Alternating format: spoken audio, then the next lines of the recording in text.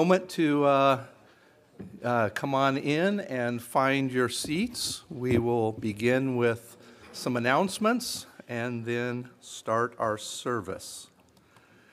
It is good to see every one of you here today. Um, I see we're a little bit thinner than normal. I think we have a large contingent who traveled out to Texas over the weekend for a wedding of one of our former members, as well as some other travel on this, uh, uh, what not, holiday weekend, I suppose, this Memorial weekend. So, Don, whenever you've got the announcements up, we shall begin. Okay, just a few things to bring to your attention. Uh, this year we began Bible reading each month, encouraging members of the congregation to find a partner or a buddy and read through a month of Scripture. Um, you don't have to read it together. You each read during the day at some point and share a comment or observation or encouragement with each other. So we are just finishing Psalm 31 through 60 this month, and next month begins 1st and 2nd Corinthians. So if you'd like to participate, I encourage you to either find your own buddy to read with or if you'd like a partner, you can send email to Bible Reading or Bible Buddies. I think it's Bible Reading at branchofhope.org, and we can try to pair you up. Next item is new members class. We uh, hold these periodically for those who would desire to become members here at Branch or those who simply want to learn a little bit more about our church and its structure and doctrine. So Dan Parkins is out of town today. Jason Gallagher will be covering that class. Uh, the last couple of weeks, I think you've heard mention that June is Pastor Appreciation Month, and we are uh, taking this as an opportunity to encourage and show love to our Pastor Paul.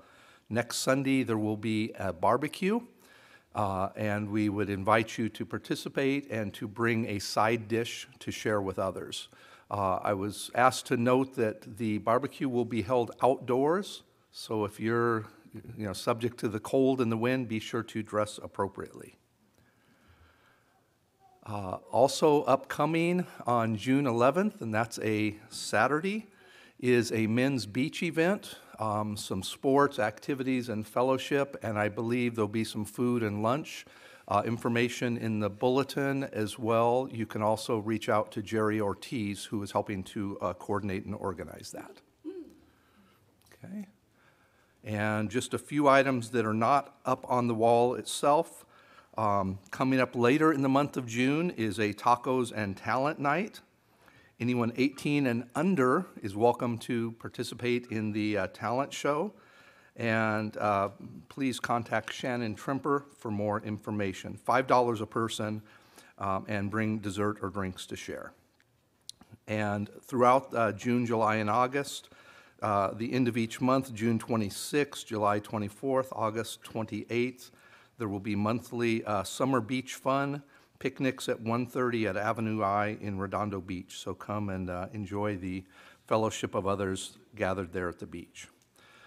Uh, specifically now toward today's service and next week, uh, Pastor Paul is out of town, and Elder Bob Parucha will be exhorting us today. So we look forward to that.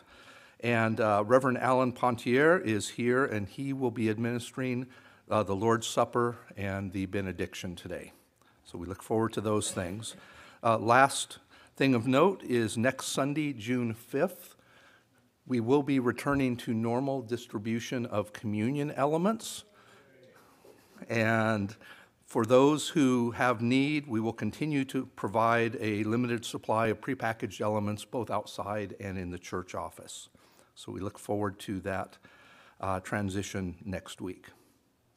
So at this time, um, we will turn our attention to our worship service.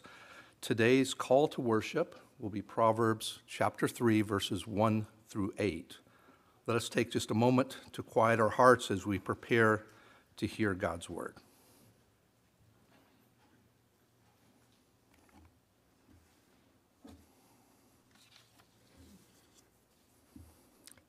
Proverbs 3 1 through 8. My son, do not forget my law, but let your heart keep my commands for length of days and long life, and peace they will add to you. Let not mercy and truth forsake you. Bind them around your neck. Write them on the tablet of your heart, and so find favor and high esteem in the sight of God and man. Trust in the Lord with all your heart, and lean not on your own understanding. In all your ways acknowledge him, and he shall direct your paths. Do not be wise in your own eyes. Fear the Lord and depart from evil. It will be health to your flesh and strength to your bones. Please join me in prayer.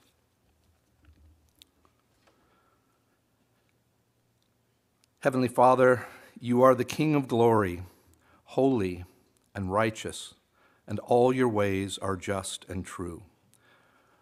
There is none beside you, O Lord, and we delight in you. Your beloved Son, our Savior Jesus, was delivered up for our transgressions and raised for our justification, and we entrust our souls to him. You are our shield and protector and deliverer, and we rest in your goodness and grace. We exalt in your name as we gather to offer praise and worship before your throne. The Proverbs we just read emphasize the importance of our hearts. Our hearts are to keep your commandments we are to write steadfast love and faithfulness upon our hearts, and we are to trust you with all our hearts. You desire people who love and seek after you with our whole heart. We ask that as a potter forms wonderful things from seemingly insignificant piles of clay, that your Holy Spirit will be at work in our hearts and lives, transforming us into the image of Christ and into vessels of honor fit for the Master's use. Yet the Proverbs also warn us to not be wise in our own eyes, but to fear the Lord and turn away from evil. In response to these words, we enter now into a time of silent confession of sin, acknowledging that we fall short of the glory of God and need the forgiveness and cleansing offered freely to us in the gospel.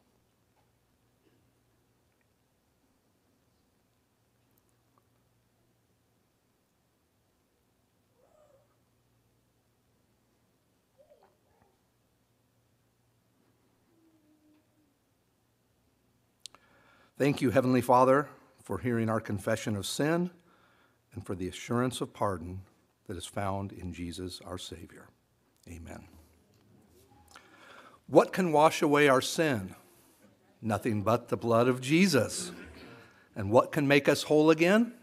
Nothing but the blood of Jesus. Jesus Christ brings healing to our flesh and refreshment to our bones. In a word, he cleanses us from all unrighteousness. So, brothers and sisters in Christ, if you have confessed your sins and put your trust in Jesus alone for your salvation, then I declare to you what the scriptures declare that your sins are forgiven.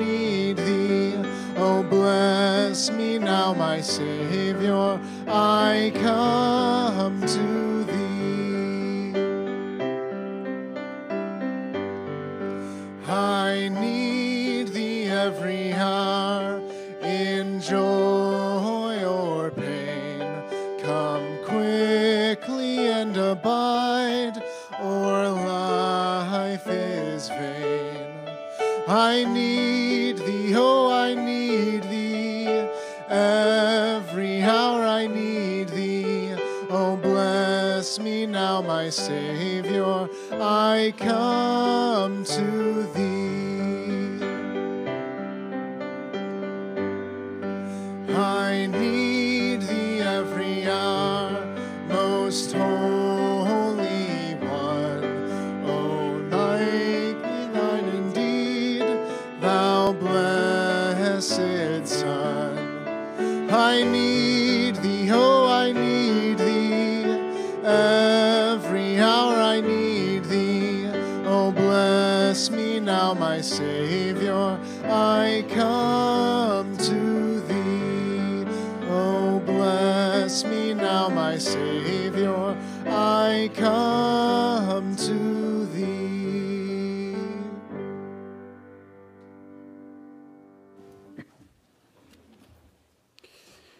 morning's congregational reading, we will be continuing through the Westminster Shorter Catechism. Today we will be looking at questions 94 through 95. I will read the question, and then we will, as a congregation, join in the response. Question 94 What is baptism? Baptism is a sacrament wherein the washing with water in the name of the Father and of the Son and of the Holy Ghost does signify and seal our engrafting into Christ and partaking of the benefits of the covenant of grace and our engagement to be the Lord. Question 95 To whom is baptism to be administered? Baptism is not to be administered to any that are out of the visible church till they profess their faith in Christ and obedience to him. But the infants of such as are members of the visible church are to be baptized. Let us pray. Heavenly Father, we come before you once again on this Lord's Day in joy and praise and worship. And we thank you that we are washed, we are signed, we are yours. We thank you that you've given us the sacrament of baptism and the Lord's Supper to show our communal mark as believers and members of your flock. We come here before you today, God, during this time of tithes and offerings, and we remember that everything that is given to us comes from you and your abundance and your generosity. And even though we're beset by just troubles and tribulations and worries about our financial state, may we always keep in mind that you always provide, you always take care of us, you always make sure that we have what we need and then some. We come before you with our tithes and offerings, presenting them to you, and we continue to lift up the deacons and the elders as they oversee these funds and their distribution, and may they always give these funds and use these funds with an attitude of charity and discernment. And may those who receive it receive it joyfully and understand that it is part of your provision for his people. We lift up all these things in your Son's name. Amen.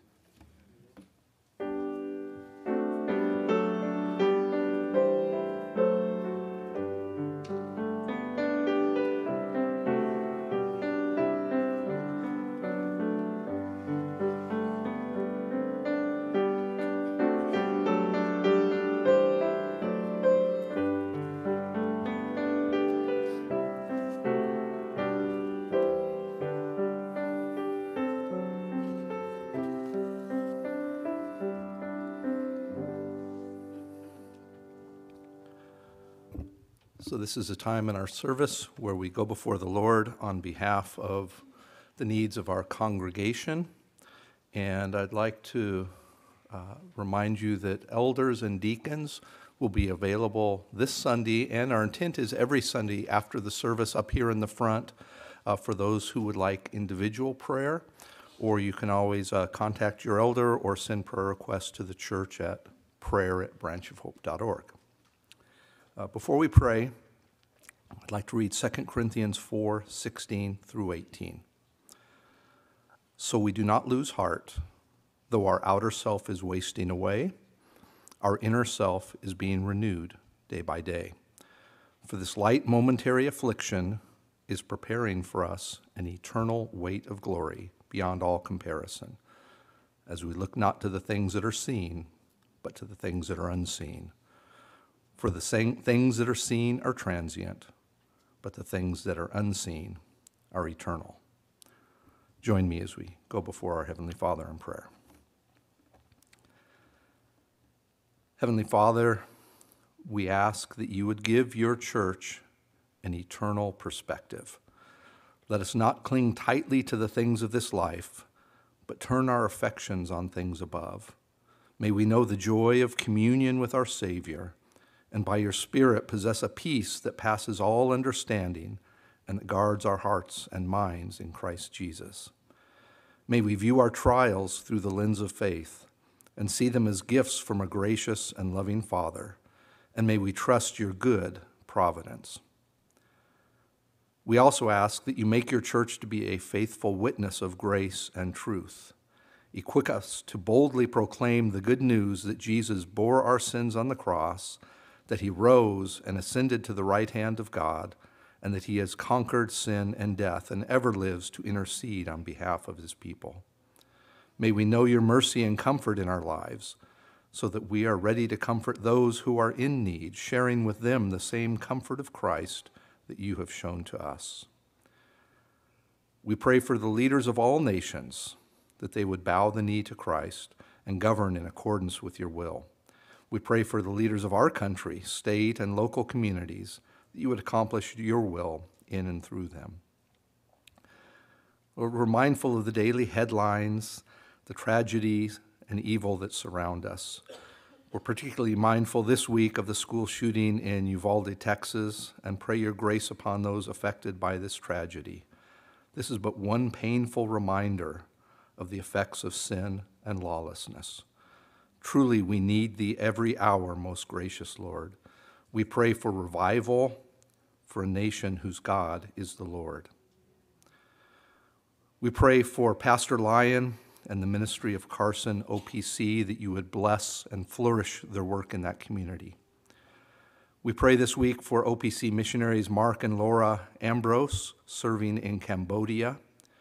We ask you would bless their ministry of caring for victims of sex trafficking, the impoverished, the neglected, and marginalized. Please equip Mark as he trains Cambodian Christian doctors to practice gospel centered medicine so they can start Christian clinics and better serve their communities. We pray now for specific needs of our congregation. Lord, there are many, many requests listed in our bulletin. We will mention just a few here at this time, but we know that you are aware and attend to all of our needs, both those written and acknowledged and those that we each carry privately ourselves. Uh, we lift up our brother John Clayton, who was hospitalized a couple days ago with a blood clot in his heart and is anticipating uh, tests, possible surgery today or tomorrow. We ask that you care for John and provide comfort and strength to both he and Bridget. We pray for Marty and Kim, stepfather and mother of Dan Parkins. Uh, Dan reports doctors suspect Marty may have prostate cancer and Kim is struggling with early onset dementia. We pray your care upon this couple and that you would encourage Dan as he ministers to them. We pray for former member Darcy Bradbury, who has a serious condition called histoplasmosis, which requires treatment, but which may also adversely affect her kidneys and uh, bring complications to other conditions she has. We pray you administer to Darcy. We pray for branch member Bill Holler, who's rarely able to attend in person. Uh, Bill's hearing has declined, and we ask, Lord, that you would allow that to be helped by uh, hearing aids and that he would be able to adapt to them and be able to better communicate with his family, something we simply take for granted. We'd pray for Kenny Valdir's mother, Linda, who has congestive heart failure and currently in ICU. We ask you to pour out your grace upon her and the family and Lord, in this situation and in all these situations, we pray for those family members and loved ones who do not know Christ, that this might be the occasion of their salvation. We pray for Stacy and Tyler Bonds and their baby Peter. We pray your blessing and a care upon their needs at this time as you provide both for your glory and for their good.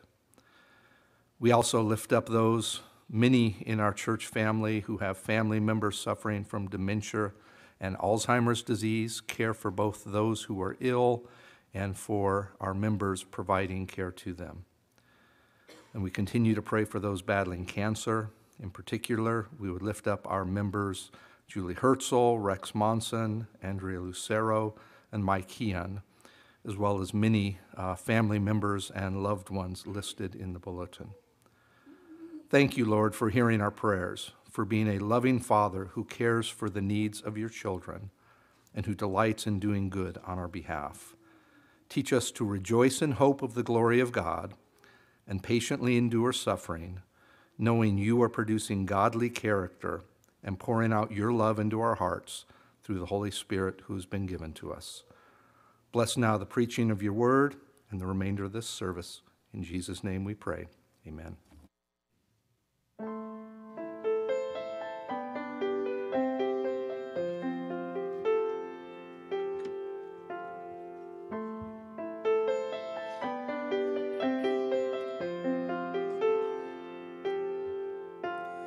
speak.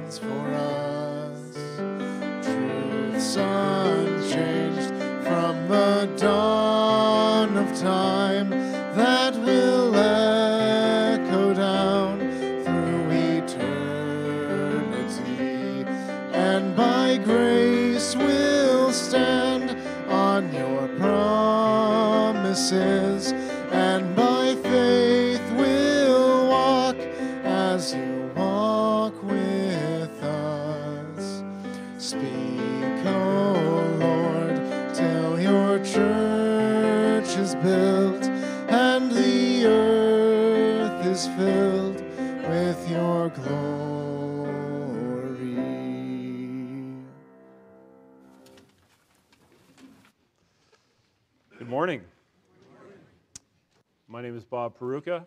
I'm one of the elders here. And uh, it's my turn to exhort today. Pastor Paul is at the Ranch of Hope in Texas. and he is um, getting a well deserved rest. Um, Grant had mentioned a few uh, weeks ago when he was up here that um, it's really an effort and uh, it's challenging to put together uh, a presentation that is uh, cogent and meaningful and um, can encourage and edify. So um, I do appreciate Pastor Paul's ability to um, get up here every week. And in fact, I kind of liken him to a LeBron James. You know, he's, or maybe a, maybe a Michael Jordan. I don't know, Dan says he prefers Michael Jordan, but he's our star. Uh, and uh, he's toward the end of his career, but we want to stretch him out.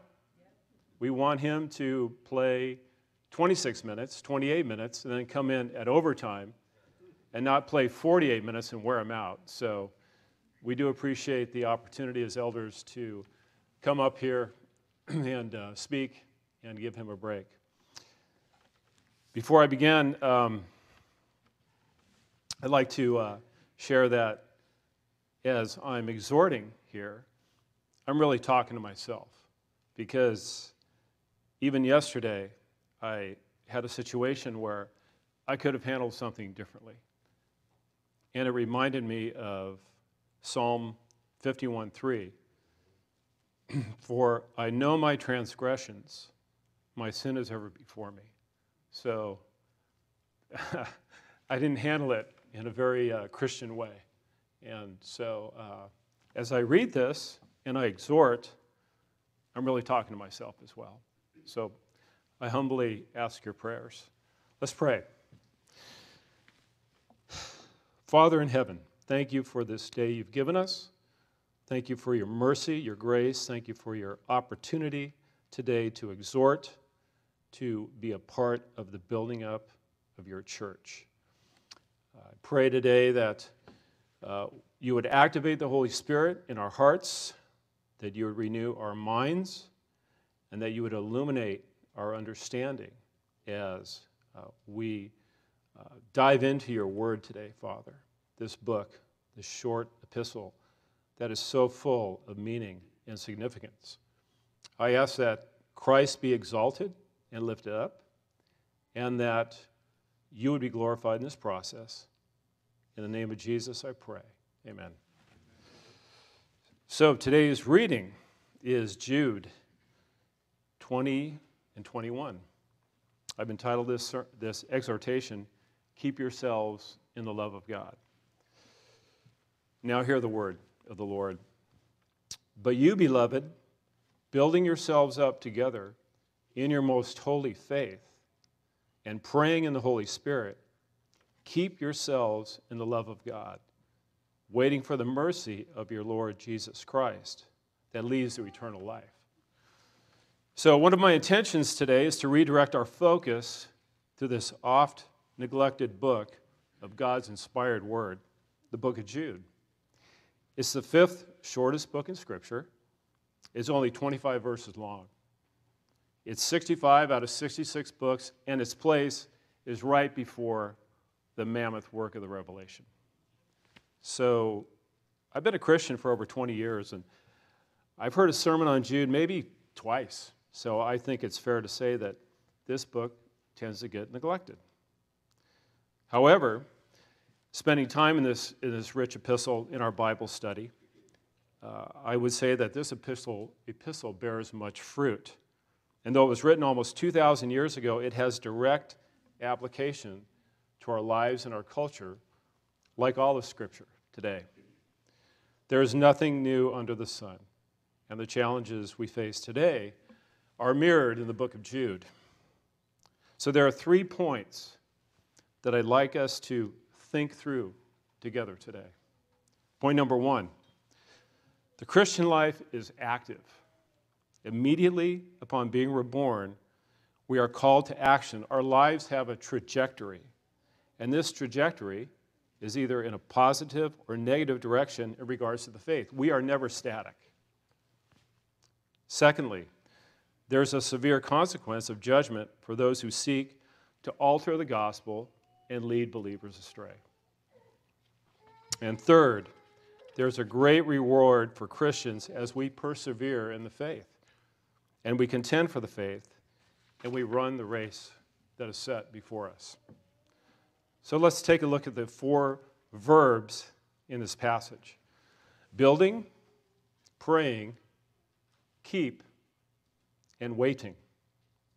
In being called to action, we are to confirm our calling and election, 2 Peter 1:10. We are exhorted to live a certain way, obeying what Christ has instructed in us to, to obey and what we're to believe and how we're to live. If I remember one thing from English grammar is that verbs are action words. So let's look at the first verb, building. The theme of building is found throughout Scripture. Psalm 127 1. Unless the Lord builds the house, those who build it labor in vain. 1 Corinthians 14:20. So with yourselves, since you are eager for manifestations of the Spirit, strive to excel in the building up of the church. 1 Thessalonians 5:11. Therefore, encourage one another and build one another up, just as you are doing. And then finally, from our Lord, Matthew 7:24 Everyone who hears these words of mine and does them will be like a wise man who built his house on the rock. And the rains fell, and the floods came, and the winds blew, but it did not fall because it had been, it had been founded on the rock. So, we can all relate to the act of building. It's a satisfying enterprise to build something, whatever it is. It's a fence, furniture, an addition, a house. For several years, I drove the northern Baja coast, coastline back and forth to our apparel factory in Ensenada. And in 2006, I dove in and I bought a piece of property about 100 yards from the ocean in a gated community. It's a beautiful spot. My contractor, who I nicknamed the Maestro, was talented. Yet I later discovered that he had a bit of a slippery slide. And I also had a plumber who he nicknamed Leaky Lopez. So the, the building of the house was quite the journey, and I experienced several sleepless nights wondering what I had gotten myself and our family into with this venture. Dealing with a different culture from my gringo perspective was one thing, but there were all kinds of issues we discovered after the house was built. There was the flood resulting from a faulty seal on the top bathroom tub where water gushed down the stairs and out the front door.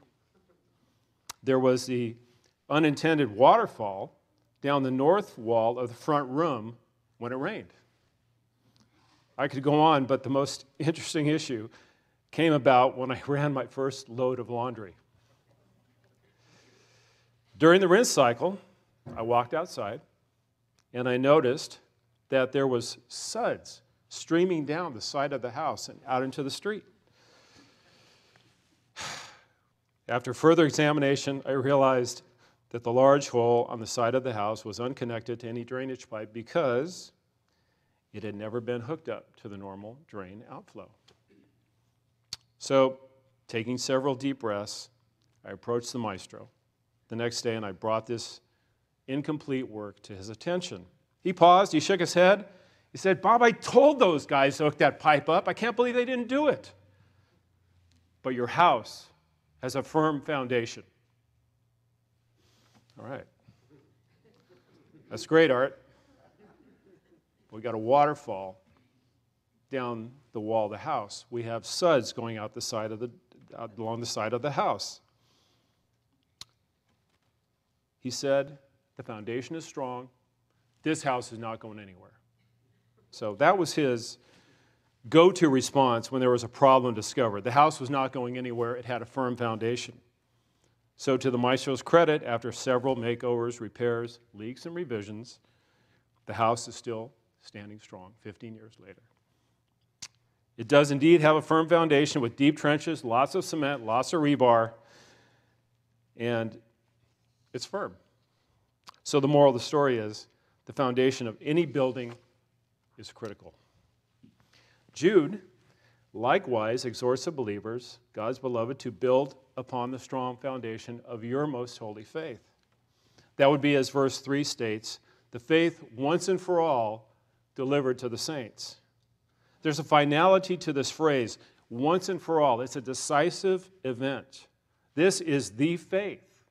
It has been delivered. God has spoken, as Francis Schaeffer would say. Here, the faith indicates the content of the message taught by the apostles and held in common by all Christians.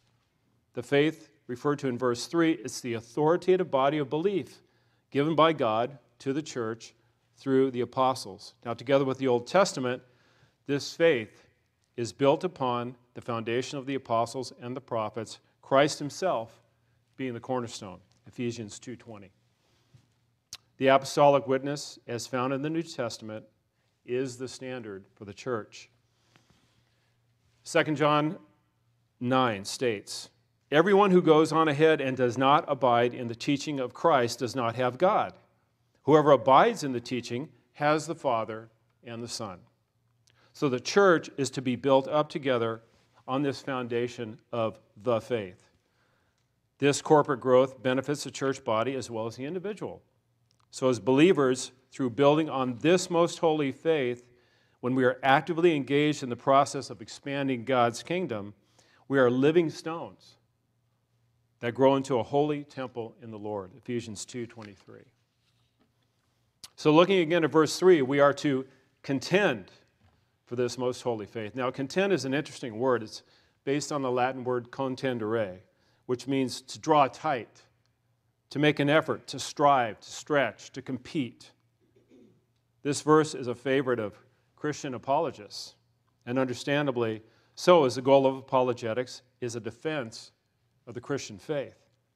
I'm honored to be part of this very active church with this emphasis on apologetics. From Pastor Paul, who does not shy away from any challenge to defend the faith, to those who are involved in midnight shows on, on KKLA, the radio shows, the apologetics.com show, uh, the apologetics conferences, and the podcasts.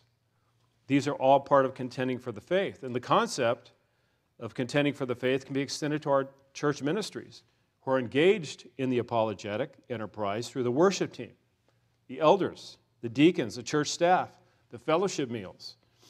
I would also include those hosting Bible studies, bringing friends to church, showing hospitality to others.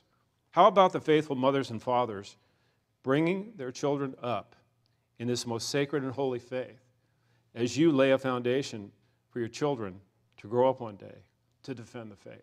That's amazing. We realize, on the one hand, we're a hospital, a church full of sinners, and we're in need of pure grace with nothing in our hands to bring. Yet, I'm encouraged by the striving, the effort, the battle that we all engage in, contending for the most holy and sacred faith in the stations of life that everybody finds themselves in. The Apostle Paul sums up this idea in Romans. Romans 8, 4, Romans 8, 4 through 5. For as in one body we have many members, and the members do not have all the same function. So we, though many, are one body in Christ, and individually members of one another. But why did the apostle, he's not an apostle, excuse me, why did Jude write this epistle? What was his, what was his intent in writing this short epistle? There's one word heresy. Heretics had entered the church and were looking to rend the social fabric of the flock. So let's take a moment here to define our terms. What is heresy? I'm going to quote Dr. Robert Godfrey on this, as his definition of heresy, says. Some people use the word heresy simply to mean any error or a fairly serious error in theology. But classically, the word heresy was used to describe those theological errors so serious that it would deprive one of salvation. There are some errors that are there are some errors that are so huge they are really cutting us off from God because we have so misunderstood him and his truth.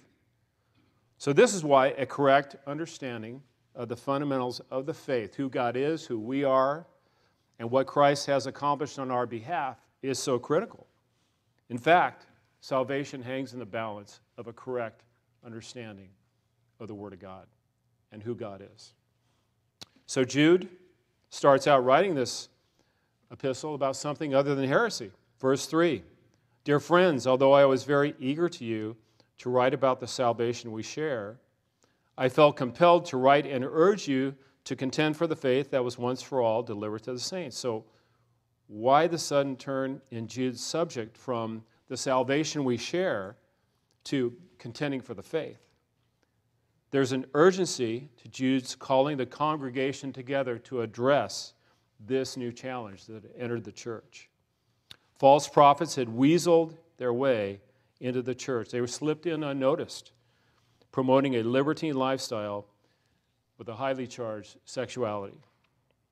So Jude 4 reads For certain people have crept in unnoticed, who long ago were designated for this condemnation ungodly people who pervert the grace of our God into sensuality and deny our only Master and Lord, Jesus Christ. These people had made their way in to the Christian community by feigned relationship and flattery. And Jude's task is to unmask them, to expose them, while at the same time issuing a stern warning for his flock not to be taken in by this false teaching. These heretics are marked out for judgment. They had altered the doctrine of grace of God and turned it into a justification for sexual excess. They have read the doctrine of grace through their own corruption and transformed it into something wholly other, and therefore had become apostates and turncoats. So, for the next several verses, Jude draws on archetypal examples of sin from the Old Testament, warning his readers again of the greater judgment to come upon false teachers. They will pay for their sin of misleading the faithful, and Jude puts these heretics in the same category as the transgressors of Sodom and Gomorrah, who had departed, as we know, from the natural order of things. They have gone the way of Cain, who was of the evil one and murdered his brother. And why did he murder him? Because his own deeds were evil and his brother's righteous. That's 1 John 3:12. Jude also cites the sons of Korah who led the rebellion against the authority of Moses and Aaron. Their resulting divine judgment is paralleled by the heretics' rebellion against the church's authority and their ability to lead others astray. So Jude is reaching back into the Old Testament to show how there's a parallel here, here between the current situation in the church that he's encountering and the Old Testament. Again, there is nothing new under the sun. So Jude continues his attacks. He spends a lot of time here going after these guys. Jude 12 through 13. These are hidden reefs at your love feasts. As they feast with you without fear, shepherds feeding themselves, waterless clouds swept along by the winds, fruitless trees in late autumn, twice dead and uprooted, wild waves of the sea, casting up foam of their own shame, wandering stars for whom the gloom of utter darkness has been reserved forever. Wow. Wow. I was thinking about this, these uh, images, and the, uh, the farmer waits for rain and he sees the clouds, hoping for relief from drought, yet the waterless clouds are empty of promise. As Pastor Paul has indicated in our study of Revelation, the use of the ocean as a metaphor points to, points to evil. The heretics are like wild, stormy waves that would cause chaos and destruction. And what would it feel like to be a, a wandering star cut loose from the sovereignty of God's control over the universe, headed for utter darkness that has been reserved forever for these wandering stars? We get the feeling that Jude is filled with jealous, righteous rage for those trying to infiltrate his flock. So while Jude paints a vivid scene of the doom that awaits these seeking to disturb and divide the unity of the church, his urgent call is again to warn believers and warn us of these false teachers that proclaim an antinomianism that projects Jesus as Savior, but not Jesus as Lord. So let's look at the second verb pray. Jude calls the church to prayer. They are to pray in the Holy Spirit. The heretics, in verse 19, are devoid of the Spirit, and what marks the church out from the world is the possession of the Spirit and communion with God through His agency. Praying in the Spirit defines the life of us, of the true people of God, by God's grace. The apostolic faith and the Holy Spirit, Word and Spirit, are the defining characteristics of the true Christian community. The gospel is held forth, and the Spirit is at work, renewing the minds of every believer in every true Christian church. Ephesians 6:18, Paul exhorts us to pray at all times in the Spirit, with all prayer and supplication. So we pray for the presence of, of and the help of the Spirit we attend to the preaching of the God's word, which is breathed out by God and profitable for teaching, for reproof, for correction, and training in righteousness. 1 Timothy 3:16. We confess our sins and abstain from sin so as not to grieve the spirit of God. James 5:16. Therefore, confess your sins to each other, pray for each other so that you may be healed. The prayer of a righteous person is powerful and effective. Again, we are to act. Christianity demands that we act. Praying is active, praying is intentional, where we intentionally lay up our requests to the creator and sustainer of the universe in reverence, humility, and sincerity. So Jude exhorts the believers in to keep themselves in the love of God. What could be better to be kept than to be kept in the love of God? This is an imperative. Believers are to act in a way that will protect and guard them from heresy. The heretics, like the ancient prototypes Jude cites, did, did not keep their proper place, but they crossed the line to participate outside of their allotted domain. The Exodus generation and Sodom and Gomorrah were guilty of not keeping the proper order laid down by God. The heretics were trying to divert the church down a similar path by altering the gospel and persuading members to follow their licentious lifestyle. Jude calls the believers not only to contend for the faith, but to guard, to hold on to the faith that they have received. Verse 24 Now to him who is able to keep you from stumbling, God will preserve our faith. However, God's preservation of the saints does not minimize our responsibility to persevere in faith and to support each other's perseverance. We keep each other in the love of God through close ecclesial fellowship and prayer, and so we are accountable to each other for that. The imperative of action is rooted in God's steadfast love, shown through his act of grace. This grace is a part of God's gracious gift. The inclination for us to act righteously comes from God and is rooted in the character of God. The believers are to obey the commands of God, to hold on to these truths, and to maintain a certain state of purity through focused, intentional effort and prayer supplication to the commands of Christ, participation in the sacraments, and holy living. To make our calling certain, keeping themselves in the love of God echoes verse 1, where Jude identifies Christians as those who are beloved by God and kept for Jesus Christ.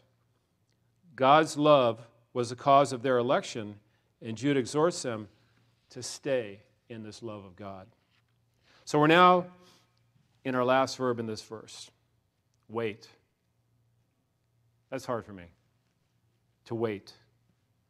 Believers are to wait for the mercy of our Lord Jesus Christ that leads to eternal life. There's an anxious expectation of the kingdom of God and the final consummation. The vivid hope of Christ's return is part and parcel of being a Christian, yet we live godly lives in the present we have a lively expectation of final consummation, and that hope is not escapist, but frames and informs our life in the present age. As Pastor Paul indicates, that when we live heavenly minded, we are joyful and at peace, knowing that this life is not all there is. We are blessed with mercy, which is the compassion, kindness, or clemency extended to those in need. Mercy is the opposite of judgment, which, which will befall those who disobey the gospel, who harden their hearts when hearing the good news. 1 Peter 1, 1 Peter 1 3. Blessed be the God and Father of our Lord Jesus Christ.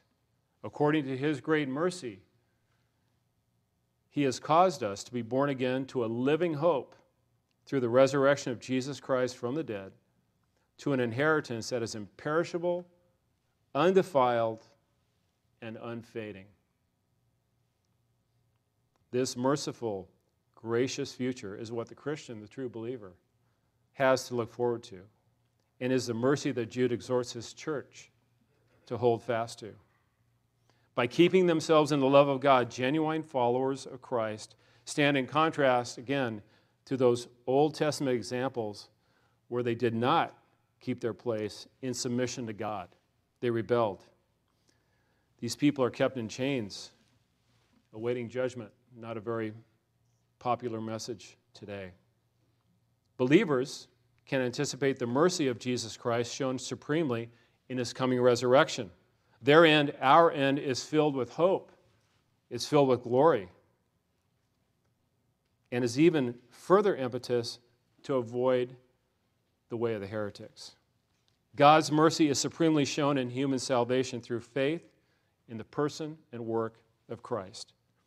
The mercy of the Lord Jesus Christ shown to them upon his coming will bring eternal life, anticipating the final day when we will all have resurrected bodies and live eternally with God. Psalm 27 18. Wait for the Lord. Be strong and let your heart take courage. Wait for the Lord. Waiting is active. When I wait on God's timing, I need to actively address my impatience and focus my heart in another direction. Waiting on God's plan to unfold in the midst of present trouble, we are called not to give up, no matter how trying our circumstances, but to rather give God time to answer. It's tough. I'm not sure about you, but this is one of the greatest challenges of the Christian walk for me. I'm a task guy. Give me a list so I can get stuff done. Just ask my wife. I make a list each day, then take joy in crossing off the tasks accomplished. And when finished, I take even greater joy in throwing away that piece of paper. There's a great satisfaction to crumpling that paper up and tossing it in the trash can. However, the problem is half the time I have to reach back in that trash can because there's something important on that piece of paper. I actually call the trash can my second filing cabinet. My point is that waiting requires faith, trust, hope, and discipline. It takes effort to wait. Yet we do wait for that glorious day when Jesus comes back to renew all things, to make everything right. Revelation 22:30 He who testifies to these things says, "Surely I am coming soon." Amen. Come, Lord Jesus. Revelation, as Pastor Paul has pointed out, is meant to give us comfort that the victory is won. Yet we as Christians experience longing for the realization of God's purposes accompanying the second coming.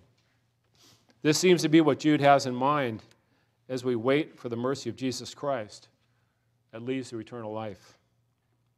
So, as we close, let's, let's think through this passage together one more time as I read it and take a look at its richness in regards to the doctrine of the Trinity. But you, beloved, building yourselves up together in your most holy faith and praying in the Holy Spirit, keep yourselves in the love of God, waiting for the mercy of your Lord Jesus Christ that leads to eternal life. So, all three persons of the Godhead are referenced here. All three are involved in our salvation and keeping us in the love of God. We are elected by the Father, who in Ephesians has blessed us in Christ with every spiritual blessing in the heavenly places, and by whom we are adopted in Christ Jesus.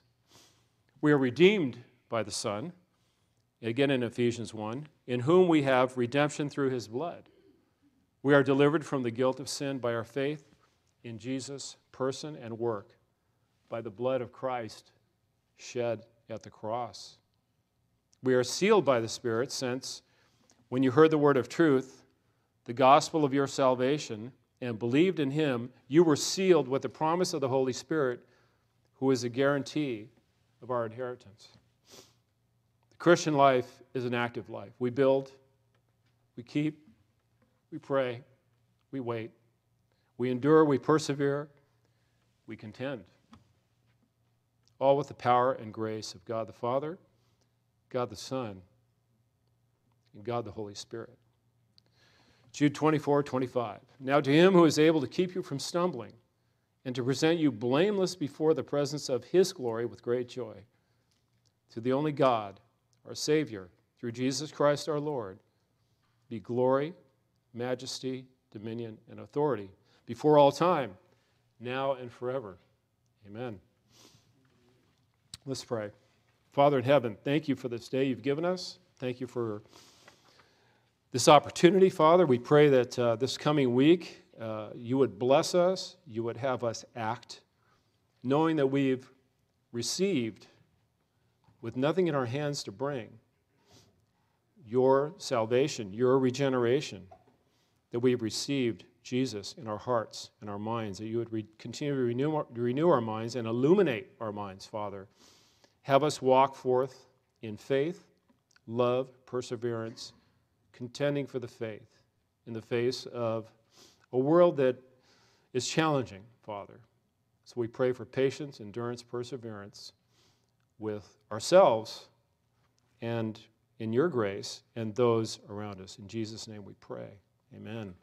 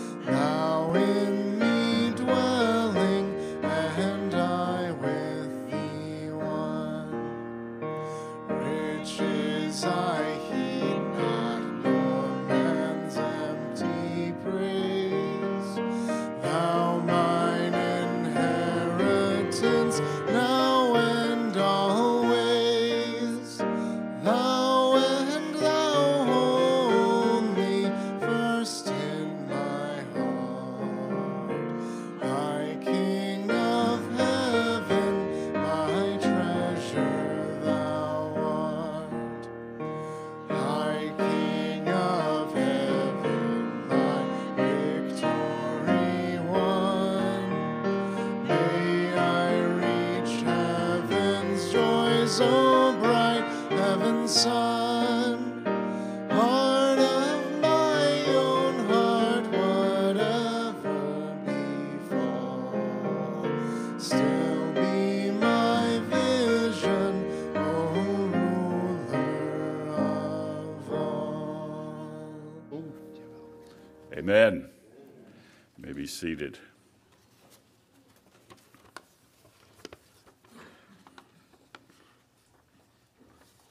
There's a temptation I'm not going to give into, but after the excellent exhortation, I'm, I'm tempted to just kind of pick up where he left off and keep going. It was, it was challenging.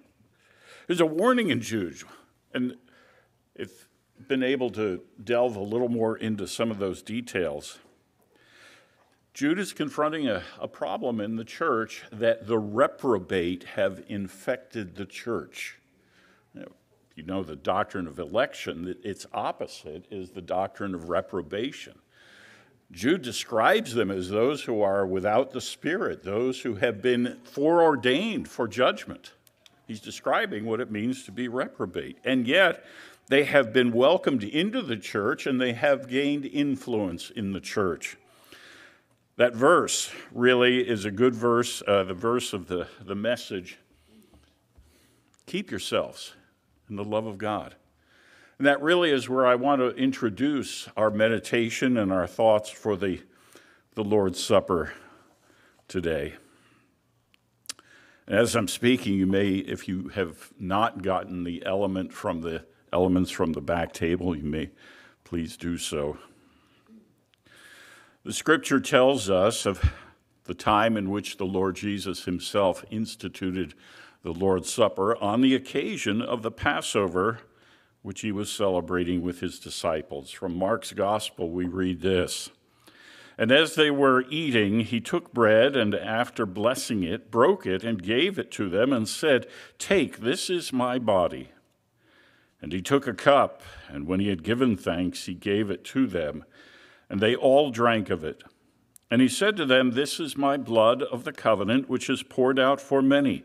Truly, I say to you, I will not drink again of the fruit of the vine until that day when I drink it new in the kingdom of God. What is the meaning of the supper? What is, what is its meaning and purpose? Well, our shorter catechism asks the question, What is the Lord's Supper? And it answers, The Lord's Supper is a sacrament wherein, by giving and receiving bread and wine according to Christ's appointment, his death is showed forth. And the worthy receivers are, not after a corporal and carnal manner, but by faith, made partakers in his body and blood, with all his benefits to their spiritual nourishment and growth in grace. You should understand that, and let me put it in the context of the verse, the key verse today. Keep yourselves in the love of God, remain in the love of God. The Lord's Supper is a tool, it's an instrument, it's a way, a means that Christ has given to us to accomplish that very purpose, to remain in the love of God. As we take the elements and as we remember, and as in remembering, we embrace the gospel and embrace what Christ has done for us by faith. That's the key. You know, it doesn't matter. A lot of things we, we do about the administration of the Lord's Supper are good, they may serve a good purpose, but what is essential and what makes a worthy participant in the Lord's Supper is to receive it by faith. And when you are remembering Christ, you are also saying, He is my Savior. He died for me. And through His death, my sins are forgiven, and this I believe. That's a worthy recipient of the supper. It's my privilege as a minister of Jesus Christ to invite all who are right with God and His church through faith in the Lord Jesus to come to the Lord's table. If you've received Christ and are resting upon him alone for salvation, as he is offered to you in the gospel, if you are a baptized and professing communicant member in good standing in the church that professes the gospel of God's free grace in Jesus Christ, and if you live penitently and seek to walk in godliness before the Lord, then this supper is for you, and I invite you in Christ's name to eat the bread and to drink the cup. At the same time, Scripture warns us that whoever receives these elements in an unworthy manner is eating and drinking judgment to themselves, storing up judgment, because you are profaning the table of the Lord and not receiving it in a worthy manner. But if you're not trusting Jesus today, I urge you, while I say, yes, on one hand, you should not participate, I always think it's important to say, but you should be challenged by what you have heard, what you have observed today in the worship service, and you should be challenged by the truths that are presented to you, challenged in such a way that you are moved to embrace Christ. I noticed uh, earlier today they said there would be elders up front to take prayer requests. But you know what? If you if your prayer request is, Lord, show me the way of life, I'm sure the elders would be more than happy to talk to you about that.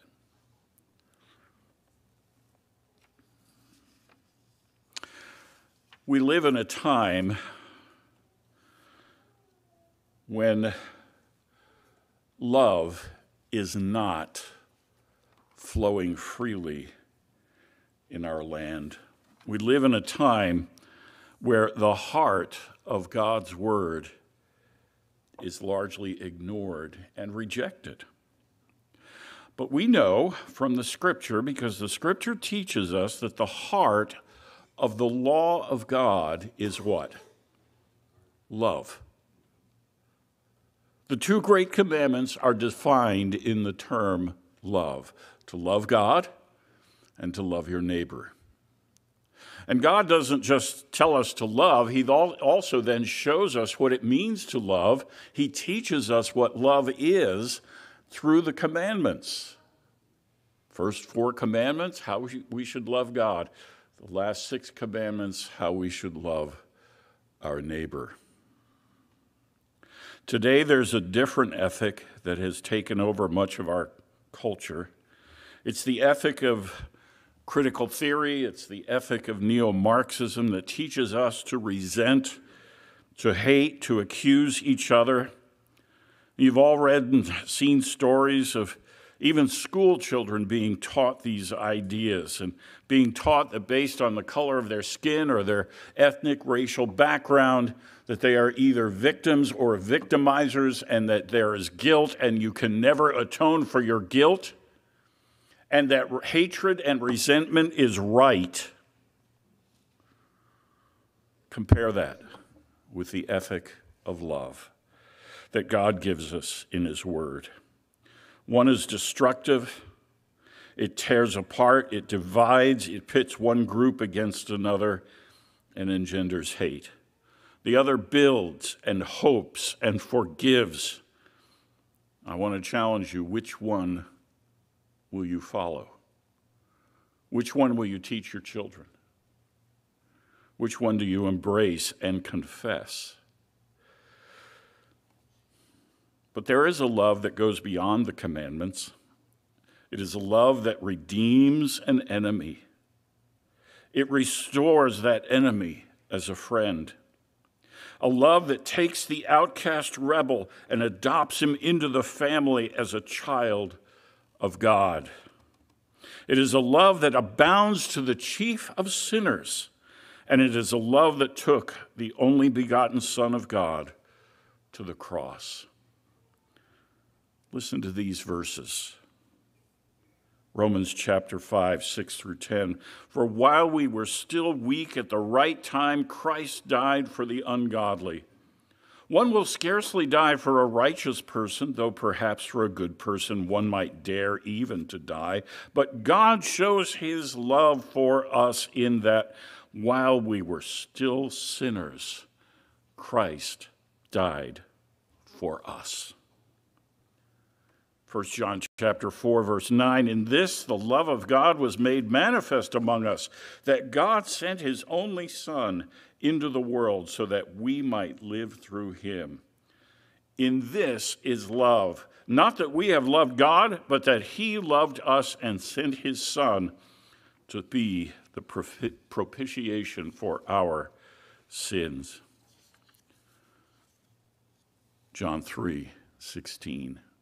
Oh, you see this and you hear this all the time. And, and, it's become so familiar that we, we, we think about it, we don't really think about it. We just read it and listen to it. But think of it.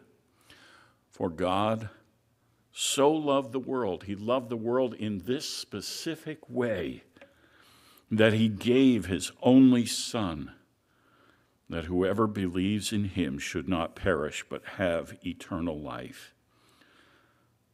For God did not send his Son into the world to condemn the world, but in order that the world might be saved through him. And this is the love that we're reminded of today. This is the love that we are to remain in and keep ourselves in this love. We are remembering the love of God that saves us from our sins and restores us to God. This love took visible form in the person of Jesus Christ. This love actually accomplished salvation for his people. Please join me in prayer. We thank you, Lord, for the love of God that reaches from heaven, reaches down to earth, reaches from holiness to the unrighteous plucking them out of the fire, as it were, taking away the sin and the guilt and restoring them to righteousness, a righteousness that is not our own, but is counted to us. Indeed, the righteousness of Christ imputed to us and we receive by faith. Lord, we praise you and thank you for the greatest act of love. It's an indescribable love beyond the capability of human language to express. And so, Lord, we pray now you would bless your people as we partake of this, these elements, and as we remember Christ, indeed communing with one another and communing with him as he, by his Spirit, is among us right now. In Jesus' name we pray. Amen.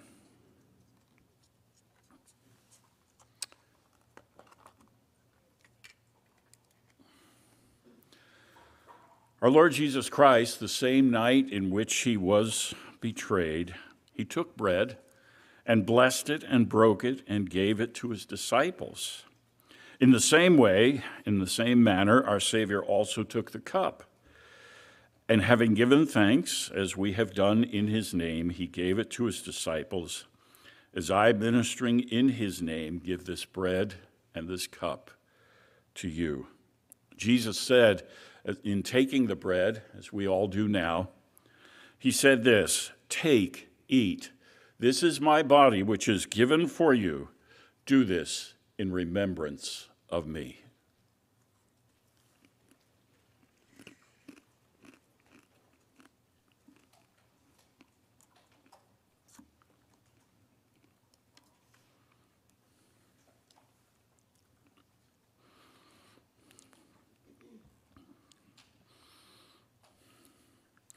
And as we take the cup together. Our Lord Jesus said, This cup is the new covenant in my blood, which is shed for many for the forgiveness of sins. All of you drink of it.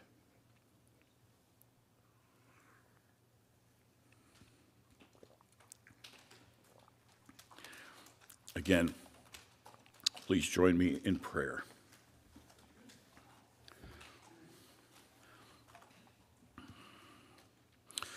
Father,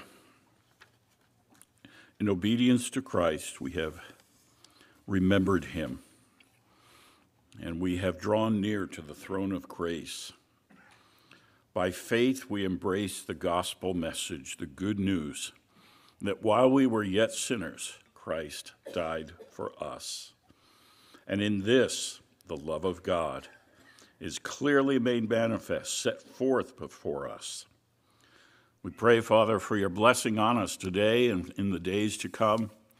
We pray for this church that it would remain and even increase as a beacon of light in a darkened world, as a place where those who, who seek salvation will come and find it abundant and free. It's in Jesus' name we pray. Amen. All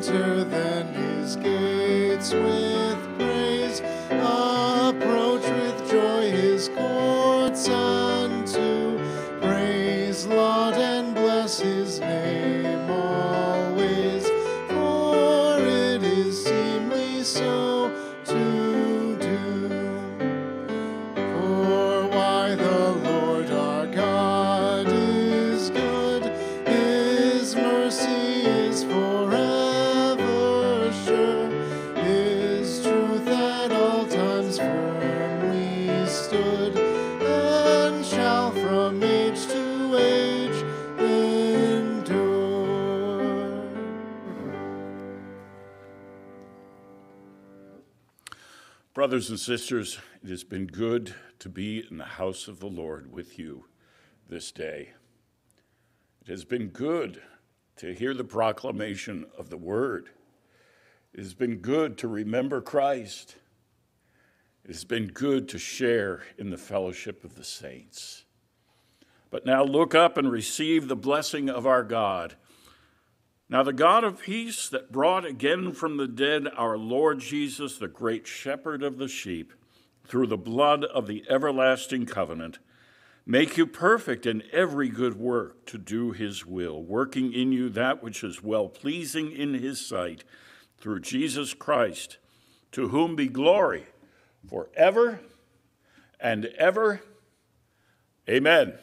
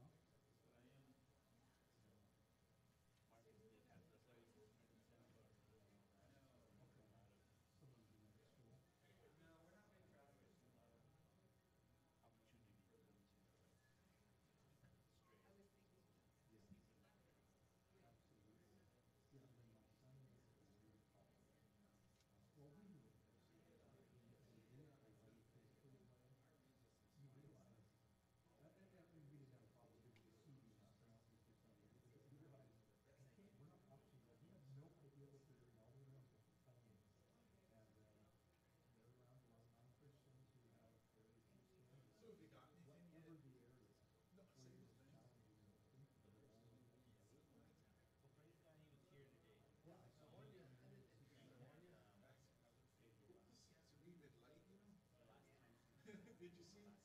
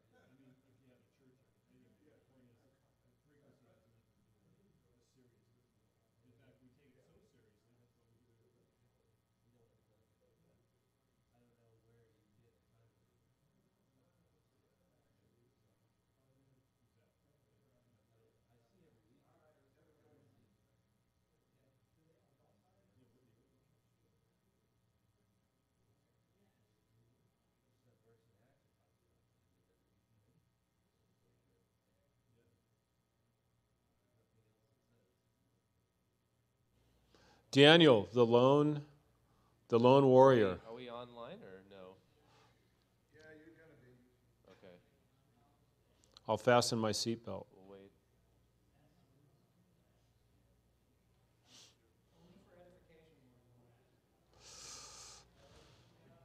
And I am, Am I, I'm live, yeah? I'm on? Okay. You want me to see if I can drum up some customers? We may at least still want to close the doors, though. Thank you. In case it gets louder. I can hear, yeah, the ambient. Check one, two. Little too hot, A little too hot. Of course, then everybody stands in front of the thing and talks over here. Like, okay, I'll go up to the mic. So my question is, Online questions? No, it's me. I'm no one. like we said, no, That's, I, I just said, I'm no one. Do you send an online question? Why? You're here. Why What? You you sent online questions? No, I said, are there online, it's the, I Oh. didn't see the iPad. I was asking if you had the iPad. Yes, two just showed up. Is it a laptop or iPad? It's an iPad with, the magic writing. Okay, are we, are we live?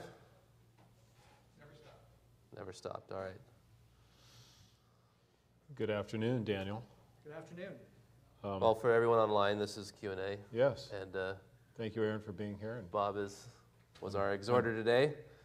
And uh, we'll go to, yeah, in person first. Daniel, that'll be Daniel. you. Uh, wow. Thanks, Don. Would you please read that definition of heresy again?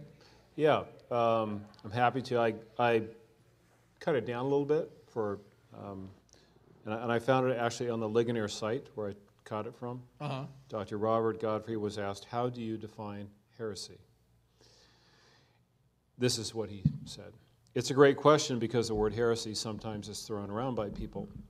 Some people use the word heresy simply to mean any error or fairly serious error in theology, but classically the word heresy was used to describe those theological errors so serious that it would deprive one of salvation. I think we ought to be using heresy more in that sense. Error is error. Error can be serious. Error can, error can be small. This is the part that I left out for uh, brevity's sake. Error is always bad and to be avoided. But there are some errors that are so huge, they're really cutting us off from God because we have so misunderstood Him and His truth. And that's what heresy classically was used for in the church. Do you agree with that? Um, based on my current understanding, yeah, I'm, I'm open to uh, correction if uh, a- an argument is put forth that would convince me, based on Scripture. Okay, good. Yeah, That's always amen. good. That's always reassuring. Uh, all right, so let's see. When we go with what you talked about in terms of uh, what was entailed in contending for the faith, and you listed off various activities of the church, would you elaborate on that, please? In terms of how how are how do all of those activities in various ministries connect with contending for the Yeah, faith? Yeah. So, um, and I'm not a, I'm not a Greek scholar, so I don't know the Greek word, and, and so I'm, uh, I'm um, a little bit behind the eight ball as far as that goes. And if, if I knew the Greek word and what that actually meant, it sounds like the best um, translation of that is contend. Okay, so then I took that, that word contend and to strive and to, um, to effort to stretch that whole, that whole uh, idea of contending is, is encompassed in that. And I just wanted to, um, so I think contending for the faith, as Jude is talking about it, is contending for the faith once and for all delivered to the saints, contending against heresy. But I also, and maybe I took liberties on this, and, and correct me if I'm wrong, but um, I wanted to, as the church is one body, we are all contending for the faith in our various activities based on the fact that we are one body with many parts, different stations in life, different functions, I think it's important that moms and dads that are teaching their children biblical truth and bringing them up in the fear and admonition of the Lord are contending for the faith, ultimately, because they are um, teaching their children how to defend the faith, how to have the proper worldview. That's one example. I also see uh, when we're singing, we're speaking God's truth. We're singing God's words. We're contending for the faith. I see the effort, that whole focus of this body of Christ that, and most of us are volunteers, some are getting paid. Most of us are volunteers that are, we're all contending for the faith once and for all delivered to the saints in that same direction as one body. That's kind of was the, was the idea. So if I'm uh, taking liberties there, that's a possibility, but I wanted to, I think, I think moms get the short end of the stick sometimes. You know, I think they need to, they need to be given credit for, for, for the job, and dads, you know, uh, families. I think families are, our families are under attack. So I just wanted to more acknowledge that, that this is a, the body of Christ contending for the faith in different stations of life. I don't know, if, does that make sense? Yeah, I appreciate that clarif- clarification. And then to further clarify, you would say that the primary application is to contending for the faith against heresy. Yeah, in, a, in the Against error. apologetic sense, yes. Yeah, so Hundred pole- percent. polemics and apologetic. Okay. Hundred percent, yes. Thank you very much. Yes. Appreciate your labors. Yes, sir. Go ahead, sir, yes. How are you doing? I was just scratching my head. No, I, I have a question. How are you doing? Thank you for your exhortation. I Thank- thank you. Really appreciate it. And uh, at first, I thought I had a concern because it took a while for you to get to what I consider the meat, which has, you know, I think for us to be, um, you know, especially when you mentioned contend for the faith, and the fact that the, I would say the meat of this is dealing with a description of these basically heretics. I don't know. I- Correct, I- yes, I, I was looking- heretics. trying to find a word for it because I think it might be more than just a heretic, a, a, a very specific thing. And uh, uh, what I, as you know, I like to set up my questions a little bit, so bear with Go me. I'll try yeah. to do it briefly. I try to get exhorted by certain people to be a little. I'll, I'll but, try to, uh, I'll do my but, best to um, answer your question, I- for sure. As, I, you know. I will. Hopefully, everybody knows I'm open about maybe where I might disagree with Pastor Paul or. Sure. You know, and I, you know, I don't, I'm not hiding any of that. And, uh, and I ha- I have a suspicion there's certain people that have concerns about me and maybe, oh, they might even think, oh, he's one of those heretics, right? Really? Well, okay, there might be a few. I, I'm not going to name names, but there, there's a few But uh, Okay. Do have a concern about me apparently. But what I wanted to point out and see, this is what my question is, is uh, from the description of these uh, heretics, for lack of any other term for using it, I would rather call them wolves in sheep's clothing, I would think, because they're not coming out openly saying, hey, I, this is the false doctrine, Sure. this is where I disagree. They're coming in secretly, Yes? and I think there's a parallel passage, Second Peter 2, which says the same thing. um, Mm-hmm. Yes. Trying to secretly in- put in heresies, and one, two things it seems like they're doing, according to verse, uh, I just can't see, verse 4 here in Jude. uh, They're ungodly, Mm-hmm. perverts, the- they pervert the grace, of- I guess these are the two uh, heresies in particular. They pervert the grace of our God in- into, okay, my translation, I don't like this, indecency, but I believe it's lawlessness is the Yes, actual word. Basically, you know, they're, they're trying to say, hey, we're not under any law, right? I think, Right. Of any sort. And then they also deny our Master and Lord Jesus the Christ. Mm-hmm. And so I'm thinking, but they're all doing it secretly, I think, and that's the, the main key, I, I- I guess. Mm-hmm. And I'm wondering how I would see it, like, if I was gonna try to infiltrate the church to, Mm-hmm. to do these things, I would think I would agree outwardly with all the, what the church says and Mm-hmm. everything, and if I do say something that seems off, I'll quickly, no, that's not what I meant, I, I Mm-hmm. agree with you guys. So I'm thinking, wouldn't you say that if we had a problem, and I, and to be honest, I, I, um, I keep an eye open for heretics all the time because I've been from other churches where I've seen what I would consider a lot of activity in such a way, such as this. I'm wondering if, as elders, wouldn't you say that this is, you would not necessarily look at people just openly disagreeing with you, but also keeping an eye out for those wolves in sheep's clothing? I'm wondering, any, any thoughts on that? On because I mean, there are Yeah, a that's- description of, of these passages, but uh, um, That's, that's a great question. any thoughts on that? That's a great question. First of all, um, the, in the commentary that I used, Second Peter and Jude are, are related, um, very related. It, it looks like possibly Peter took possibly some from Jude, or used Jude in order to write his epistle. There's, again, there's speculation about that, but um, at least there's a connection there. And I did bring out the point that Jude, um, in, in that verse 4, he, he uh, implies that they've weaseled their way in to the church. They've come in unnoticed. They're utilizing flattery. They're utilizing, uh, they're, they're propping other people up. They're kind of glad handing people. And in that, they've come in unnoticed. And yes, to your point, um, then they've said, hey, come along down, down with me. You know, really, really, do we really need that? You know, really, we can do what we want to do, and, and they would turn the love feast into an ungodly act, as it was happening in Corinthians. So, yeah, um, I have to be alert in myself for, for, wrong, for wrong ideas, wrong justification of myself, wrong teaching, wrong doctrine.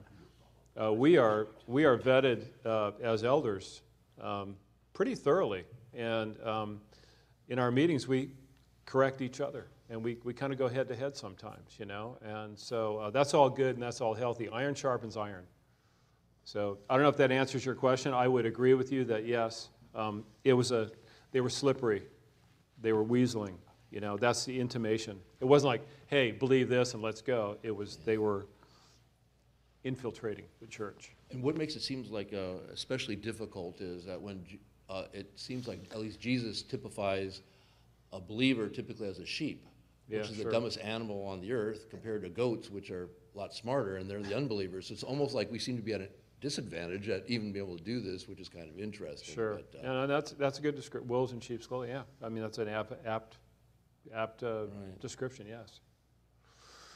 You know, I was, I, Yes, if I go could make ahead. a Please. comment because I you may, Please. got me thinking about the the unnoticed part. Yeah, or, or secret, right? It says they come in unnoticed. You know, and, and I like to say no one has a T-shirt that says heretic and walks in the door. Oh, that Right. that guy, right? But what I thought was interesting is that um, what Jude's pointing out here, um, particularly in verse eight, he says, "These dreamers defile the flesh." Yeah. reject authority and speak evil of dignitaries. Yeah. So I, I'm seeing two things going on here. One is a desire to be loose flesh wise, mm-hmm. like a, a liberalness, mm-hmm. right? I, um, maybe Diana can remember this from reading Anna Karenina, but Oblonsky was a liberal simply because he wanted to live his life that way. He wanted to be loose in his marriage and that sort of thing. That's what I see going on here in the same mm-hmm. way. Wants to be a part of the church but have a lifestyle that was open. But then also the big thing is rejecting authority. I see here a desire to, con- to uh, compete with the apostolic authority or with the church authority by speaking evil of them and uh, obviously fill it, wanting to fill the gap that's left, right? Right. Um, and I think Jude here is, is saying, no, that's, um, th- this is a false faith, and they're going to lead people astray. And he's not saying this directly, but I, as an apostle, am going to Mm-hmm. you know, tell you, you got to contend for what's the real deal. here. And, and he goes back to the Old Testament and you, Sodom and Gomorrah Yeah. and the sons of Korah and the Exodus generations. Like God has laid down his order, and these, these people are saying, no, we don't have to abide by that order. We don't have to abide by that authority. We don't have to abide by these boundaries that God has laid out. It's easy to come in and grumble about who's in charge. and you can get you can get people on board that way, right? sure. That's how revolutions start. You say, "Oh, it's these people. We got to take these people Yeah. out." And, this, and then he's he's warning you about these. They're grumblers and complainers. They cause divisions and they speak evil of people. And there's a Greek word for grumbling. I, I was listening to uh, a podcast the other day, and um, Dennis Wilson's going through uh, harm- hamartiology, uh, naming sins, all the sins of the Bible. Yeah. And um, there's a Greek word for grumbling, but it was, it was it's, a, it's a sin, big time. Yeah, yeah, You know. yeah. Yes, Just a sir. follow-up uh, on that. Um, One thing I wanted to also point out, I think it's Second Peter, I'm, I'm trying to find it right now, but Sure. uh, I think it talked about secretly caused divisions, whereas, Okay. you know, a lot of people like when, right, right, thank you. Two-one. Two-one, right, and uh, so. The encyclopedia. He's my lawyer, no, and, uh, sometimes. And, uh, but I I guess my concern is, because I, I, I know, I think it's great we have our standards, right? Don't get me wrong. I, uh, and I, I s- I struggle with some, a few of the minor things, and I, I'm- I'm not, it's not any uh, secret, but, but I do appreciate the fact we have standards. But the thing is, I think it's kind of interesting that we look at, I look at some of the liberal Presbyterian churches, they have the same exact standards. And it's just kind of interesting, and obviously somebody led them straight down to the point where we had to make a new denomination. I forget exactly when the Orthodox came. So wait, you're, I'm sorry, so you're saying that the liberal churches have the same exact stan- Well- standards that we do? well- So they abide by the Westminster Maybe- Confession, or? Well, that might be it, but I guess what I'm saying is they, they claim to have the same standards, Right. and yet somehow they've, they've reinterpreted or, or ignored them or Yeah, whatever sure. they're doing, and I guess maybe my personal concern is maybe down the line, that would be, that would be one way these heretics might want to try to do things, like by watering down, or, or maybe, Mm-hmm. like you were saying, uh, Daniel, or implying, um, maybe adding more Or it's a buffet, you pick and choose what Right, you want. exactly, or, you know, which is always dangerous, because we, we, Yeah. I think we walk in a- the midst of a problem of where, at what point can it become, I know legalistic is kind of a, maybe not the right word, maybe pharisaic is a better word, 'cause Mm-hmm. Sure. it's not for salvation, but maybe adding more rules that are Yeah. the traditions of man rather than God's word, and I think we, we gotta find that fine balance, and yet, That's where the circumcision of the heart comes in. We are circumcised hearts, right, you know, and it's not just about the external circumcision, it's circumcision of the heart, right, I totally agree. You know? All right, but I'm just saying, it's Hopefully. like, I guess I'm just mentioning some of the ideas of contending Yeah, for the it's good faith, stuff. and I think we may have different ideas what that might amount to, so, but I just wanted to, I think, no, yeah, it's good, good stuff. I appreciate it. Um, Anyone, well, yeah, we can go online before we We have we will get to you, Daniel. repeats. Thank you, I appreciate that. We, uh, we go around. Uh, Yes. Is anybody else in, no, no, no other hands? Okay. Um, Well, Daniel, why don't you go ahead with your, you have a follow-up? Go ahead. Yeah, go ahead. Before we go online. Sure. Since you are in the room. Thanks, I appreciate that. Uh, so can we look at two passages together in light of heresy? Sure. So let's start with the word itself, but let's start with Galatians five, verse Mm-hmm. twenty. Galatians 5, verse, Twenty. 520. okay?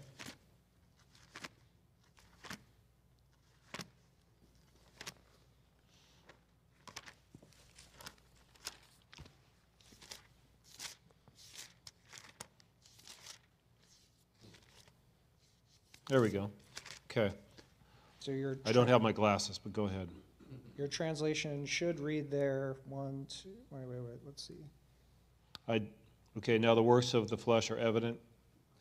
Yeah, Sexual im- immorality, impurity, sensuality, idolatry, sorcery, enmity, strife, jealousy, fits of anger, rivalries, dis- dissensions, divisions, envy, drunkenness, orgies, and things like these.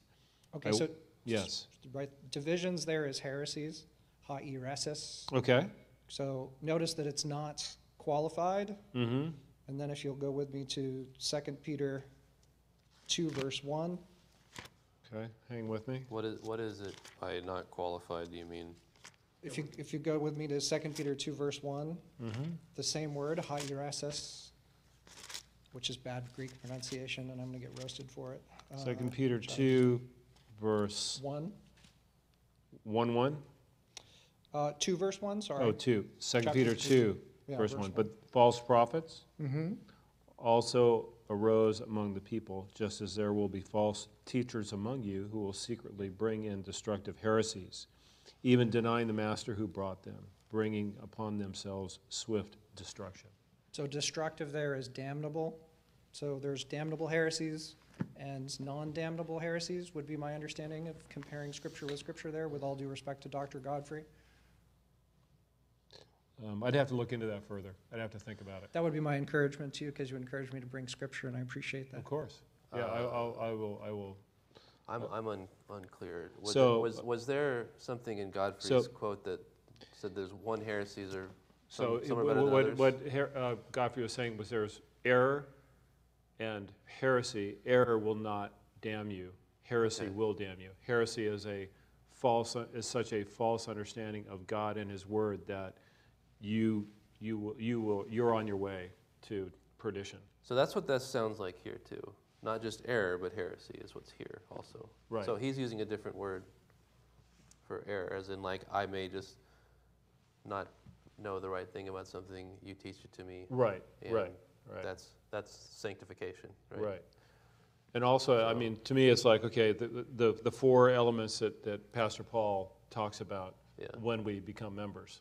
Yeah. That's, that's the Christian faith. Yeah. If you're in that Yeah, circle. yeah, right, so, That's, yeah. that's the qualification of what it means to be a Christian. What, outside that circle, you're, you're, you're probably, you're probably inherit, I think he would say you're, you're, you're outside of the true Christian faith. So what, what was the point that you're making there with the So qualifications?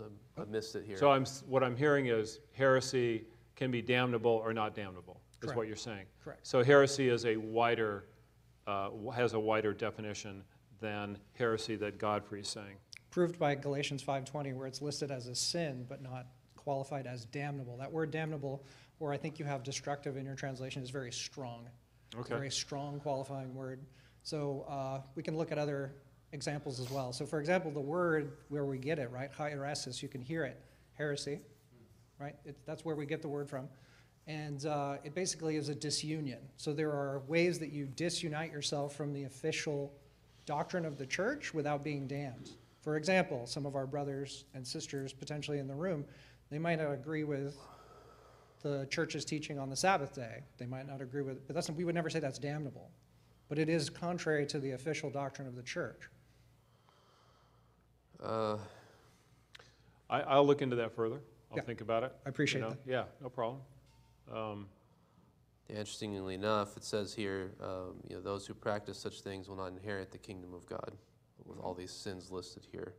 that- That's in Um, uh, Second In Peter. Galatians, no, in Galatians five Galatians. twenty, yeah. So, yeah, so, so that, that would imply that it is damnable if they do not inherit, inherit the kingdom of God. I mean, these are, these are works of the flesh that are listed here, Right, right? So these are people who practice such things. right. So therefore, that would be So it's, it's damnable. among, yeah, it's, it's, it's, these are things that damned people do, when we put Right. it that way. Right, I, I mean, I don't know if we're, we're conflating the cause and the effect here. sure, Well, every sin is damnable, right? We would Right. agree? correct. So, of course, in a sin list, they're all damnable. But there's, you know, there's a word like heresiarchos, right? Archos, a heresy heresiarch, a teacher of heresy. Okay. That's different than merely practicing heresy. Okay, So there's, there's different uses of heresy. And with all due respect to Godfrey, I mean, you can look it up in the 1828 uh, dictionary. It doesn't, it it says where there is an established religion, it contradicts that church's doctrine. So this is, the, I don't know what he means by the classical definition is Okay. soul damning heresy. So the, the way that we have been accustomed to speak of it as, as far as I know in the Reformed Church as soul damning heresy versus heresy. Oh. Right? So if we were to say, if we were to say an elder uh, taught against the confession in a non-salvific area, we wouldn't say that he taught a damnable heresy. At least I don't think we would. But we would say if we're using it in the older sense, and if we're using it in the sense that I think it's listed as in Galatians 5:20, we would say he taught a heresy. He taught. You can soften it to error if we all stipulate that errors are non-soul damning heresies, and heresies are only soul damning heresies. Then we've just redefined the terms, and that may be what. But that's not classical. That's so, why I so, object so to to get, Godfrey let me, let me just kind of cut to the chase here. Yeah. I appreciate your, your, your diving, drilling down into this. Bottom line is, you got to have a correct understanding of the Word of God, who God is, who we are, who Christ is, and what He's done for us. Period. If you don't have that, you're, you're a reprobate. If you do have that, you're saved. Correct? So whether we define it, uh, uh, wait, yes or no? Uh, I wouldn't say a reprobate. You're, you're, you're on, unless you're saved at the end, unless, unless God, yeah, unless, till, we can't read people's hearts. But you do have to have, you do have to have profess with your mouth and believe in your heart that Jesus is Lord. That's clear. You have to believe certain things. You have to have, so, so whether you're, it's heresy, error, heresy, damnable heresy, my point is, you got to know what, Yeah. you got to know what, what the teaching is. Yeah, we're all Correct? agree- And I think that, so I think that's the most important thing. yeah, and we're And all I will look into your, your, your, your, your categorization of this and the use of the word. Um, I, like I said, I'm not a Greek scholar, and so you, you know more about Greek than I do, and I, I appreciate that. It's all Greek to me. So, Uh, But uh, yeah, I think we're all agreed, right, that although every error is serious, we want to treat all which, errors which is what. Godfrey says. Yeah, not every single sin or error is um, alike grievous unto God, right? So, yes, they're all the same ontically, they all cause us to fall, they all cause us to be damned. They're all damnable in that sense, but they're not all to the same degree of severity, yes? So that would Yes, and apply you- to errors of the mind as well as errors of So just to life. sim, again, simplify things, so it's understandable. If you're in the circle of the four things that Pastor Paul talks about, we all agree that that's the Christian, the faith. Those are the elements of the faith. And if you're outside of that circle, you're not in the faith. If you can't answer yes to the four questions he says. You, you can't answer yes to the four questions. Our church, the Reformed doctrine, believes that you are not in the faith. That's why we ask those four questions of every member, correct? Yes, and you would agree that they could potentially be outside of the faith if they break vow five as well, if they don't hold to Yeah, it. Yeah, Oh, yeah, Because that has to do with our church. that has to do with our church. yeah, but you could But as a Christian, you got to believe those four things. So anyway, I'm, I'm, we're kind of, I- I'm, I, I appreciate your drilling down, but I do want to move on. Okay, thanks. Thank you. We have a- Thank you. we have a And I new- will, I will look into it. We do have a new question. Diana, Hey, Diana.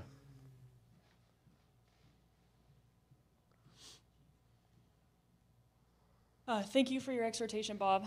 Thanks, Uh, Diana. I wanted to ask, kind of going on a totally different uh, path with, Mm-hmm. with my question here, but um, in your uh, Christian faith and then in your life, uh, can you uh, tell us what has been the most, consistently the most encouraging thing to you as far as uh, a portion of scripture or something that you've learned, but something that, you know, you can track that, that has always brought you great comfort? I mean, separate from, obviously, Christ elect, Christ's election, but I mean, something Yes. more practical that you found very encouraging uh, and strengthening to your faith and in your life. I appreciate that question. Uh, Proverbs 3 was one of the first, um, there's the reason I chose it today. Uh, Proverbs 3, 1 through 8 was one of the first um, passages I heard when I became a believer that really kind of resonated with me. Uh, lean not on your own understanding. And that idea, and but on every Thank you. Every word that proceeds from the mouth of God. So, the way it was described to me and the impact it had on me was if I'm leaning on my own understanding, and again, Daniel, forgive me, I'm taking, I'm using my imagination here and speculation, okay? But it's, it's, it's, it's metaphor. It's not. So, it was described to me that, say, for instance, 2,000 years ago, you're walking in the desert and everybody had a staff. And you're leaning on that staff and you're leaning on a hollow staff. And that staff is not going to be able to uphold the weight of my leaning on it, especially me at 215 pounds. Okay? It will, it will collapse under my weight. That's my own understanding. The rock, God's word, if I lean on that, if I lean on the rock of God's word and his promises, that, w- that will be able to withstand the weight. And then I think about Francis Schaeffer and talk, talking about uh, Western culture and his history, uh, his analysis of, of Western culture and uh, how then should we live, and talking about he would he would he had that um, metaphor of the bridge, the Roman bridge that could sustain the weight of a horse and a carriage, but it couldn't sustain the weight of a semi. And when the weight of the evil of a culture got too great, it collapsed, and everything and everything just fell apart. So that to me is encouraging when I when I, I try I kind of go back to that, and that's why I picked that that proverb. It's kind of one of the first things I heard. So that's you know a reminder, you know, to to uh, and there's there's many passages. That's a great question. I, I, I'll have to meditate on that. I try to read scripture. Well, I I mean every day, at least a couple chapters every day. Then there's maybe a book that I read um, as well, and uh, pray through that. And there's there's so many of them, but um, this one popped out at me when I was reading Jude. I was going through my reading, and it was like, wow, Jude 20, 21. That's interesting. And Pastor Paul's always talked about, hey, if you're trying to choose a verse to, uh, as elders, to preach on, what speaks to you? You know, you'd be reading, and then I was like, wow, that has a lot in it right there. That was very, that was, so, anyway, that's why I picked that out. It, it spoke to me, you know. Um, so, yes, sir. Oh, I'm sorry, you're in, you're in charge here. I'm calling on Jerry. No, Okay. you're in charge. Okay, Jerry, go ahead. Approach, Jerry, yes. S- Someone else can go in front of me, that's okay. Um, Thank you, Bob, for your exhortation. Sure. I especially appreciated your, um, your encouragement to, um, to build and to have faith and to wait, uh, to pray.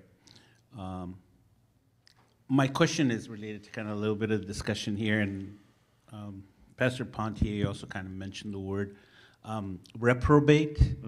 Um, I'm not that familiar with it, and I don't use it in my normal parlance. Right, Um, it's not a word I normally use. I usually think of saved and unsaved. sure. And so, um, but I've also been at meetings where people pray for the reprobate, which kind of confuses me because I thought reprobate meant God has already deemed them unsaved. And it's a designation from God. It's not something I can tell. Uh, and if it's God's will that they've already been unsaved, um, it seems contradictory Sure. to pray for that. And yet, um, I'm not sure what Pastor Pontier said, but he made a contrast between the saved and the reprobate. And again, I'm, I- I'm confused about a great the word question. and the use of the word, and Yeah. are we using it appropriately? Because, um, anyway, if Yeah. you could elaborate on the word and maybe how, Um, I'm not sure how much I can elaborate on it. I'd, I'd be good, interesting to do a word study. and see. Well, I, I I think that there's, I don't think it was meant, maybe I'm going out of line here, but I don't think it was meant that we now know the mind of God that this person is Sure, permanently damned. I think it simply means they're not in the fold right now. You're either an adopted son or you're, ill, you know, you're outside. Um, I think that's what was meant, and so then we can pray for. I, I think unsaved and reprobate are synonymous in this case.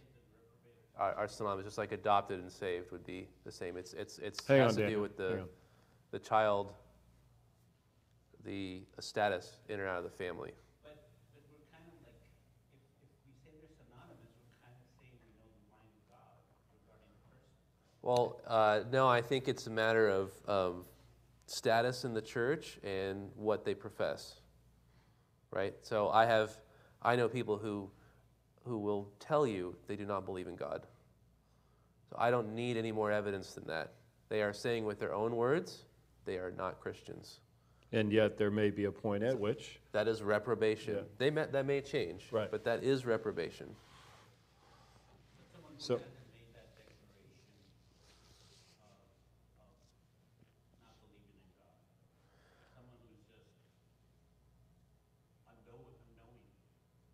hang on, Daniel, hang on. Uh, Hang so on. yeah, I guess since you're not on the mic, We'll get to you. yeah. No, so, Um, hang on, hang on, guys. So, You, you have to make a profession of faith to, to, to You're, you're, are you saying that everyone who has not made a profession of faith can be, is categorized as a reprobate? That's kind of what I'm Well, we went back to the, like you mentioned, the four questions, right? If someone's not willing to say yes to those four, then they are, they are saying that they are not in the faith. They, they may say other things like, well, maybe I'm open to it one day, or it's kind of interesting, or I'd like to hear more about it, or maybe I'll attend church one day. yeah, this is, this is a great, this is a great Yeah. discussion. It, it really is, uh, and I, and I understand your confusion, so we're trying to, trying to think through this together.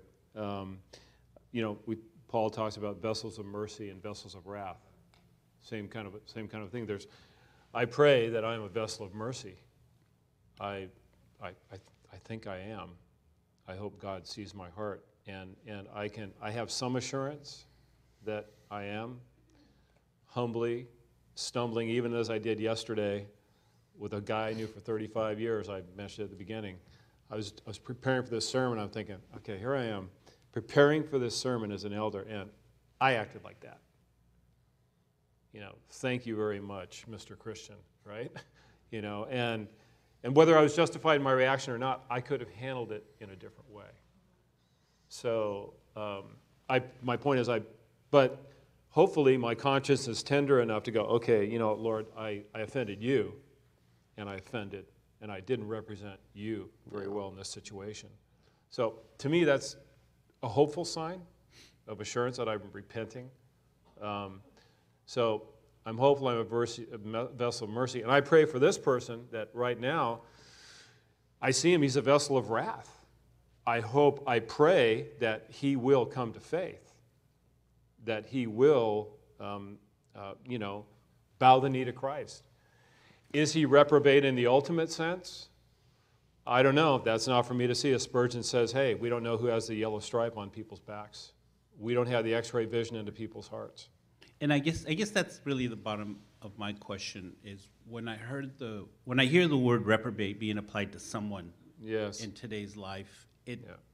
it touches to me an unkind attitude mm. and an uncompassionate attitude. If we're to be loving and kind mm-hmm. and patient and praying for someone's salvation, mm-hmm. and yet at the same time calling reprobates, which is really only God's, mm-hmm. to me, the way I understand the word, and Right. maybe that's my confusion.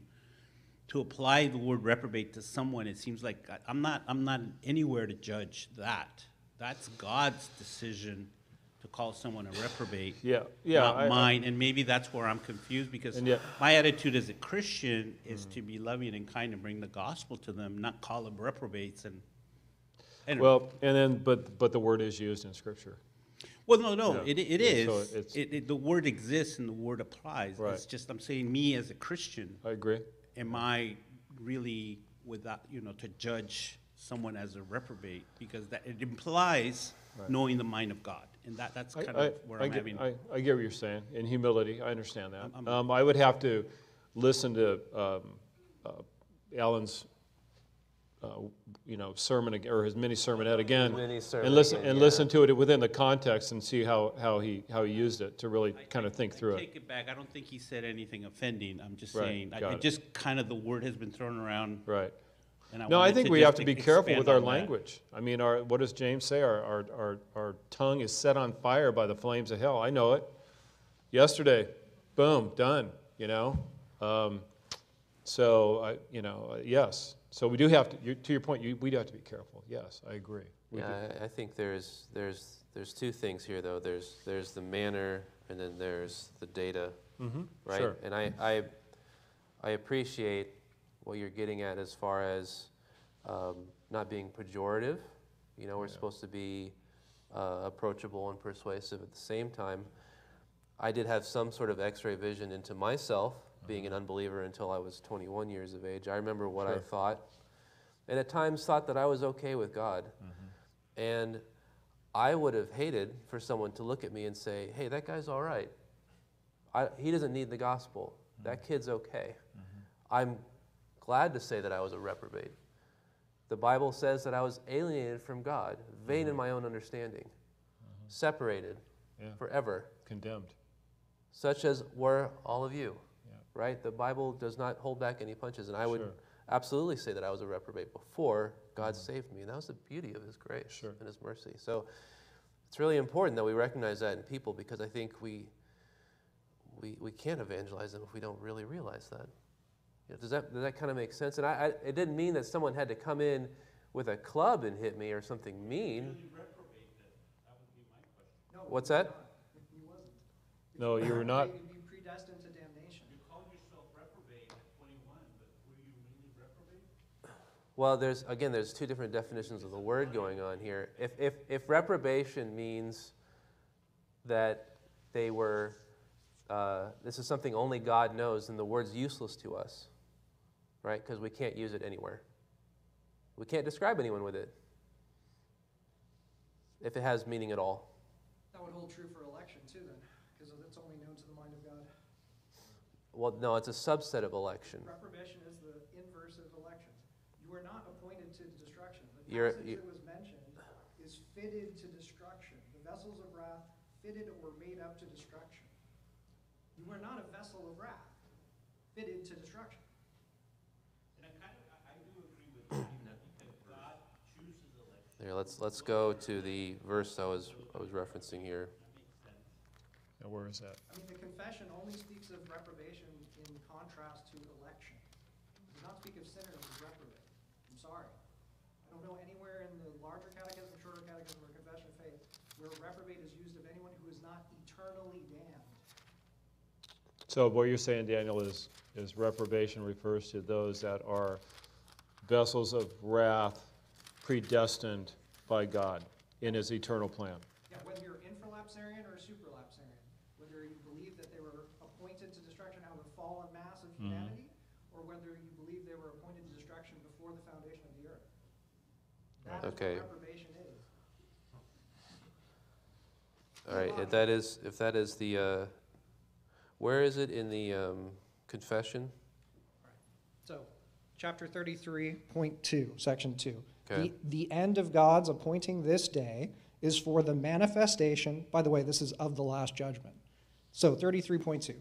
The end of God's appointing this day, that is, of the last judgment, is for the manifestation of the glory of his mercy, in the eternal salvation of the elect, and of his justice in the damnation of the reprobate, who are wicked and disobedient. For then shall the righteous go unto go into everlasting life, excuse me, and receive the fullness of joy and refreshing, which shall come from the presence of the Lord. But the wicked who know not God and obey not the gospel of Jesus Christ shall be cast into eternal torments and be punished with everlasting destruction from the presence of the Lord and from the glory of his power. And it's not used anywhere else. It's used in, uh, hang on, it's used in providence of God's, or sorry, of God's eternal decree. Well, yeah, okay, but as far In as, terms um, of scripture. yeah. So by I mean, the, if that's, if that's the case, if we have this, the definition as, as election, then sure, it's inappropriate. that's why Jerry's confused, Okay. with all due respect. Then it, then, it- I mean, I can't speak for Alan or what he intended to say, but So if can, that's the definition of whether someone's elected or not, right, Pastor Pontier, from my memory, contrasted it with the elect. There's no problem. okay, okay. yes. And I wasn't challenging Pastor Pontier, by the way, I was, I just wanted to understand It's, it's a Yeah, great question. And that, and I it's mean, a- and that's, and it's good.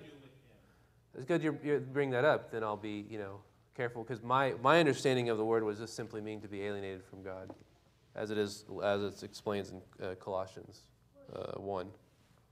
You're worried about false assurance, where people running around thinking that they're going to heaven and that they know God, when in truth they don't really know the true God. That's a very serious thing because people will not evangelize to someone who says, oh, yes, I'm fine. Because that was. Yeah, yeah, And I, and I know where you were probably coming from too, and, and it's scary to think that somebody would just not present the gospel to you because they think you're presenting yourself as being perfectly fine. right, just right, person, going right. to heaven, everything's great. yeah, But in reality, they need to hear the gospel. So you have, we have to have a kind of a, uh, a heart for that and of recognize it. And that's a hard thing to recognize, whether they have like they call dangling fruit. yeah, yeah, yeah, yeah, It's a hard, it's a hard thing. But we should be really mindful of it. Right, right, yeah, so, so we have to, yeah, we can, we, you know, we have to address the, what we see externally, mm-hmm. and when we don't know what the last judgment has, mm-hmm. clearly. So if that word is reserved for the last judgment, then For, be for, for me, it's interesting. It's like when I, when I mention the gospel or mention God or mention church or anything, and if there's that, that, that kind of that silent pushback, or that, that and not, not thinking about what I said and taking it to heart, but it's like a bad smell to somebody. Yeah, I know that, okay, yeah, the, these, these, these people are not, and I need to pr- continue to pray. Yeah. These people are not in the faith, even whatever they say they are, you know. Um, I, I don't know. I don't know if you guys experience that, oh, yeah. you know, but, hang on just a second, Arnie. Is there anything online that we need to get to? Oh, Well, we do have some online ones. Hang on just a second, okay? Would you please clarify what you meant when you prayed that God would activate the Holy Spirit in us? Well, good question. You know, um, the Holy Spirit lives in us as Christians. Um, I can grieve the Holy Spirit through my actions, through my thoughts, through my behavior. And I pray that the Spirit would fill me when I'm speaking when I'm living. And so it's maybe it's a, a um, I'm not sure if it's a, um, uh, a wrong word to say, but uh, the Spirit lives within me as a Christian, and I'm not in this walking in the Spirit all the time. I can tell you that. So I pray for the guidance and the illumination and the renewing of the mind that the Spirit will impart to me, and that's to me activation. So I'm not sure if that's clear or not.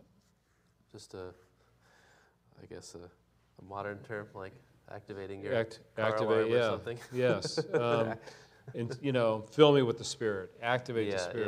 yeah, yeah. You know, so yeah. Um, yeah, uh, acknowledge, I think it's an acknowledgement that I'm not filled with the Spirit Yeah. 100% all the time. Obviously, I'm not. I wonder. I wonder if there's there's kind of a because the one of the hymns that we sang was um, "I Need Thee Every Hour." yes, sure. And um, it kind of talk. We know God's always present, but then it, it uses the language of kind of when you're there and when you're not there, and we Mm-hmm. know that um, you know God turned His face away from Christ on the Mm. cross. So there's that kind of Mm-hmm. Concept. Is that kind of where? I'm feeling that tension. So, sort of, is that sort of along the same lines as to, I mean, it's not like the Holy Spirit is out of you for no, a moment. No. but I can grieve him. I can grieve can him. I can. him. I can almost. It, he's God. He's not going to be. I can't suppress him in my will, but he. I can grieve the Holy Spirit. And he's you- a person. yeah. And that's that's biblical. I can grieve him, and by walking, by by reading, prayer, fellowship, all the things we talked about, I can keep myself in the love of God through activating the Spirit. I don't know if that's the right word, but, but through these behaviors, I will be more filled with the Spirit and I will be more sanctified if I can continue in that focus and that effort in that direction. And it takes effort. Maybe the issue with the word activate is that, like I said, it'd be like like activating your TV set. Like Sure. You, like you're in charge and you're turning a machine on. Sure. I don't think that's what you meant by the use. of No, I, no, I, I didn't. I could use it. Maybe I won't use that term from now on. Thank you for calling me out on that. Yeah. No problem. Okay. Um, Yes. We have one more. Go ahead. Just knock them out. Would Go you ahead. please state who you believe to be the human author of Jude? Jude? I think it would be Jude. Yeah. Yeah, I, I, you know, that's a great, that's a great question. Um, you know, in any, all, all of the Bible, there's a scholarship of who wrote the Bible and, and, the first verse. and um, Jude. who was Jude, half brother of Christ, um, based on the commentary I read. And again, my knowledge isn't extensive. I got a lot to learn, but based on what I read, which I think was a solid Reformed commentary on Jude, and it's also got Second Peter in that commentary. I believe that Jude was was the author. Um, he self-identifies himself in the epistle, unless it's a forgery. I don't think it was a forgery. I think that I think that um, you know the apostolic and the the, um, the, the uh, vetting process that Scripture's gone through, the 66 books, the councils. I trust that. I trust that, and I trust that Jude was the author. And if somebody brings incontrovertible evidence to that against it, okay, I'll look at it. But good luck. We're talking about 2,000 years ago, and the best scholars, the best minds have looked at it and said, you know what? This is Jude. Yeah. All good questions. Thank you for that. Senor, adelante. Um, this is probably going to muddy the waters here, but I think it's important because Oh. it's in scriptures. But because I was thinking of the scripture for Jerry in terms of Yes. uh, when you look at uh, Matthew 18 and 1 Corinthians 5, it talks about procedure of how to deal with. Uh, sounds like unrepentant people, right? And, Right. Uh, uh, but what's interesting is uh, 1 Corinthians uh, 5. I, I, you know, first when I read it, I didn't notice this, but uh, first off, it sounds like we're supposed to treat um, unrepentant uh, believers, or whether or not they're believers or not, we treat them as unbelievers, basically. Uh, you know, um, or- or reject them. But what's what's also kind of interesting is two things that I think is where I would be interested in your opinion. Um, one, which seems a little more clear, it says, "Remove the evil person from among yourselves." So, I, I, if I understand Pastor Paul correctly, if we excommunicate somebody, they're still welcome here, which I think, that, except they can't take communion, which I think, if I understand that First Corinthians five, they shouldn't be even allowed in here at all, and we're certainly not to eat with them. Well, it, yeah, that's, that's good. So we want, we want them, I mean, the ultimate We do of want them to know the excommunication gospel, if it is- says is to repent. remove them from us, it seems Right. like, uh, And yet maybe, They- you know, were these people, some of the people that were uh, infecting the church and infecting, Right. and, and influencing people and, and, and, and causing divisions among. I mean, the like, for flock. example, I thought if I was excommunicated, I mean, maybe I shouldn't say this because it'll give some other idea, people ideas, but I'm thinking about bringing my own uh, uh, wine and bread, you know, and, Mm-hmm. and- and how are you gonna stop me from doing that unless you just kick me out of the room? But, you know, would I be kicked out? I I would be, in- I'm actually kind of interested to see that, but I'm terrible, but, okay.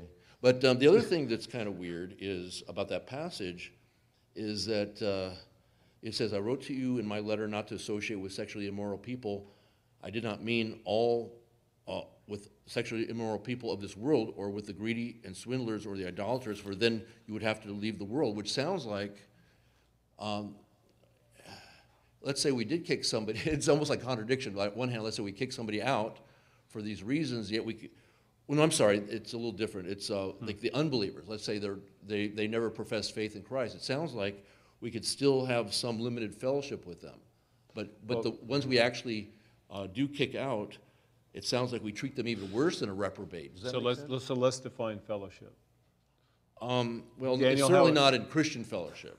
So how would you, I mean, let's define it, where there's fellowship, Well, I there's friendly, already, there's yeah. friendly relations. yeah, like, uh, And there's, yeah. and there's fellowship, there's koinonia. I do know one Greek word, Daniel, koinonia. Um, so, uh, there's koinonia, and that's fellowship amongst Christians is what, is what my understanding is. But it actually says, but actually, as I wrote to you, not to associate with any so-called brother if he is sexually immoral person or a greedy person or idolater or is verbally abusive. It sounds like, uh, not even to eat with such a person. And it goes, I didn't finish the whole list of things, but it, it sounds to me that it's a stricter judgment on how we treat people that have, um, we've um, effectively excommunicated or, or that, you know, I mean, that profess to be a believer rather than just a straight-out unbeliever. That's, you see where I'm going with that confusion about? So, so they're- they're, they're really very, being very hypocritical in that sense. If, if, if they're, say they're a believer. Right, no, no. And they're, they're behaving this way. Right, which That's is- obviously hypocrisy and not repenting. Right. And not going, hey, you know, wow, And I I'm guess my sorry. point, my point is that we, yeah, we treat them as an unbeliever. I think that's the passage, but it sounds like, if I understand the passage, it's almost like worse.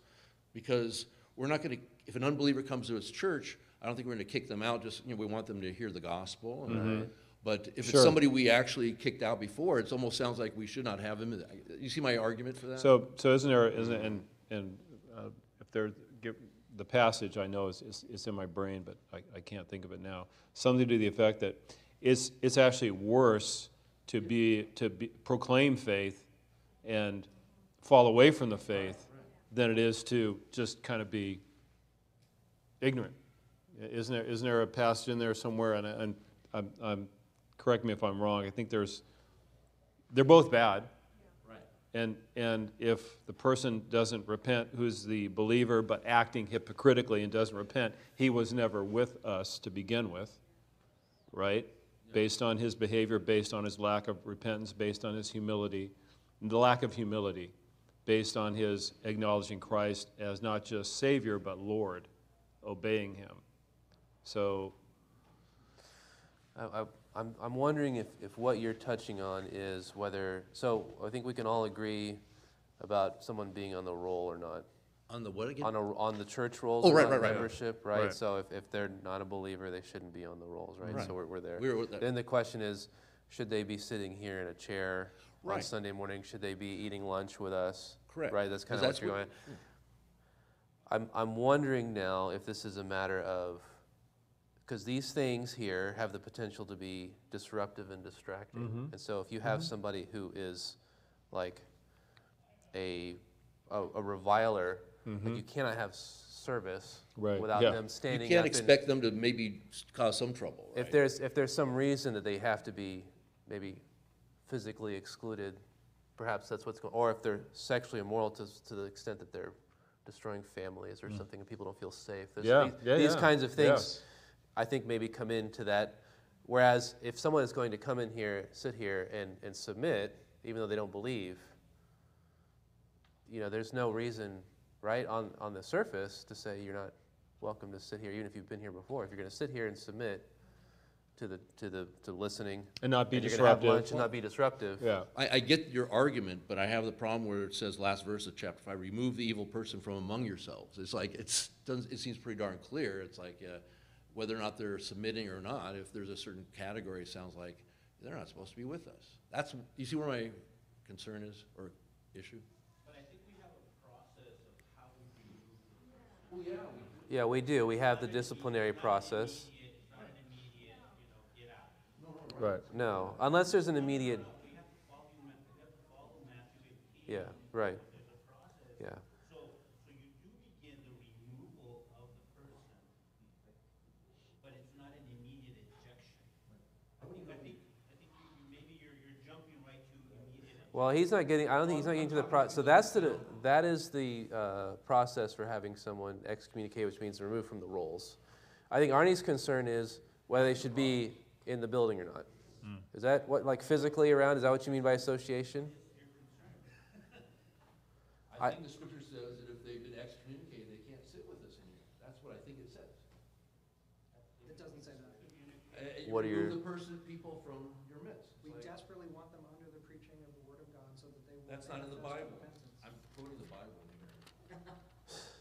You know what, Arnie, I'm, I'm, I'm gonna have to think through that a little bit. I appreciate the question. Yeah, If you don't mind, his I- I'd- here, I'd like yeah. to, you know, no, it's a good question, it's a, it's a good question, and it's a good point. I appreciate you, you bringing that up. When somebody's under the judgment, or when somebody's told by the elders that they've been through the process and then they, they're, they're kicked, cast out of the church, in other words, people are aware of that person. Yes. So if they, if they come to church and they wanna sit and listen and become repentant, then they're brought back in.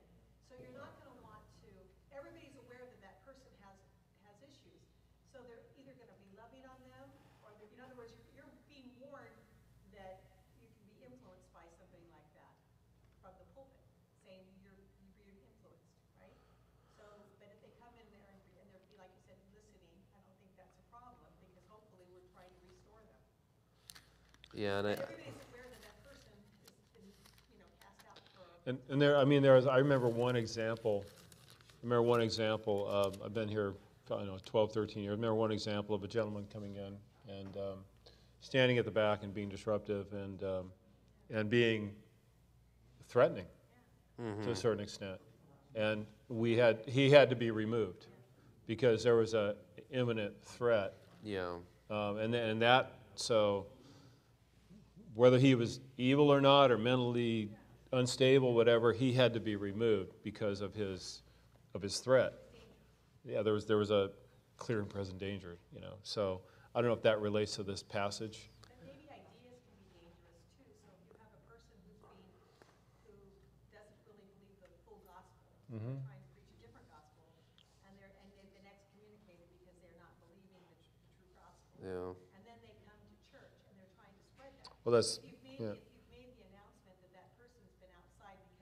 A different gospel, Yeah. then hmm. you've already warned the, the parishioners hmm. that that's Right. So if they're sitting here, hopefully hearing the gospel and, and changing, that's not a bad thing. So yeah, I think Paul's main concern here is that the distinction has to be made as to who is in the visible church or not. Right, and then also keeping the contending for the faith. Mm-hmm. We have to be doing both of those things. We have to continue to draw that distinction. Mm-hmm. And, and if we allow people who practice these things to be considered as part of our love feast, if you will, then that's when we start, for sure, start to err. So whatever we need to do to do that, Right, yeah. from the pulpit, you said he's been reinstated, he's now a believer, blah, blah, blah. Yeah. So people know what's going on. I think that's what's good about church leadership and having discipline, so that people understand when somebody's doing a false gospel in, in their presence, Mhm. or, you know, so you're not getting confused.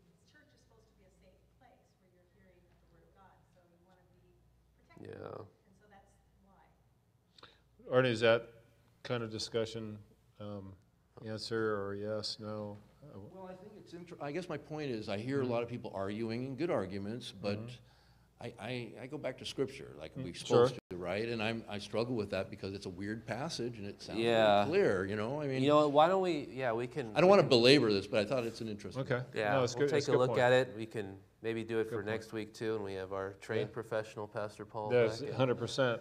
Uh, Melissa, you had Hey, a, Melissa, how are you?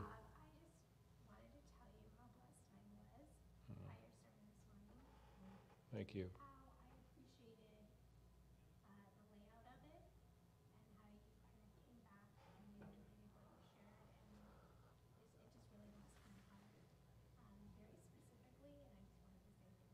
Thank you, you know. Oh, thanks, and um, I'm fortunate to have my wife to um, read it to three or four times and to go, is this making sense? How does this sound? She's like, eh, you know, all good here, but that sentence, okay, thank you. So I'm, I'm, it was great to be able to bounce that off of her, but aren't thank they, you for that. they're just great about that. Yeah, Yeah. Yeah. Uh, she happened to be walking in with us, and I asked, "Is Bob ready?" And she's like, "Oh, he's been practicing." I'm like, "Cool." Yes, yes, hundred percent. Hmm. Hmm. And they gave, they came up and gave me two big hugs right afterwards. That was so sweet. That was really, that's, that was the, that was, that's all the reward I needed right there. That was great. That was great. Love, it. thank you, thank you, yes. Yeah. That uh, that story also of your house in Mexico. That was that was really a good analogy to add in there about the foundation. I'm telling you, I'm telling you, man, it was uh, a lot of, lot of anxious That's nights. That's kind of all you had was the Yeah. foundation. Yeah, the foundation, you know? this thing that leaks, so at least it won't go anywhere. Yeah, it's not going anywhere, tsunami, whatever. It's going to stand firm. And it was a two to three year process to get it back up. And, but, you know, and then thankfully Linda came along and did version 3.0. I had several of the, the walls were different colors, you know, and she's like, you know, we got to kind of pull this thing together, honey. Oh, that's funny. Yeah, we got to, you know, really drapes and a little bit, a little, we need a little, little makeover here, you know. So anyway, everything was functioning, but it didn't really f- work.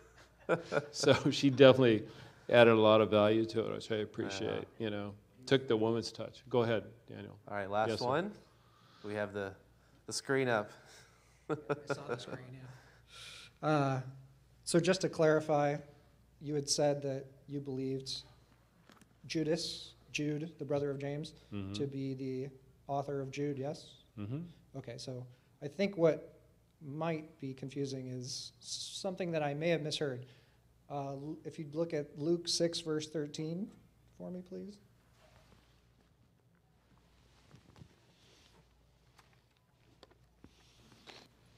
Because I may have misheard you earlier.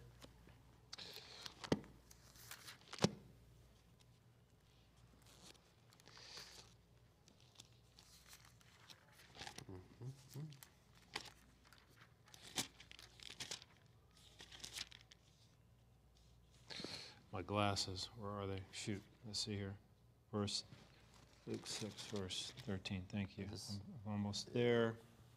Uh, 12, and when the day came, he called his disciples and chose from them 12, whom the apostles Simon, who he named Peter, Andrew, his brother, James and John, Philip, Bartholomew, Thomas, and James, the son of Apostle Simon, the zealot, Judas, the son of James. Judas, the son of James.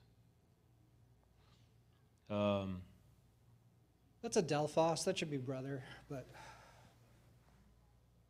so that was what, I'm sorry? that's adelphos, that should be brother. Oh, that's a mistranslation. Yeah. Okay. So So, yeah, Judas so he was a Judas the half brother. brother of James, Mhm. yes. And you know, you're right, I'm in error. Thank you for pointing it out. He, he was one of the apostles. And I would Oh, just, I would I didn't know fervent, you I would had fervently that, hope and pray that everyone in this room would long to see anyone under discipline under gospel preaching. I just Oh, I want that think to go everyone on. does. Yeah, absolutely. Thank you, and thanks again for your labor. No, my pleasure. All right. Well, with that, Thanks for all your questions, appreciate it. Thank you. Thank you, Mike Dunaway, for being you.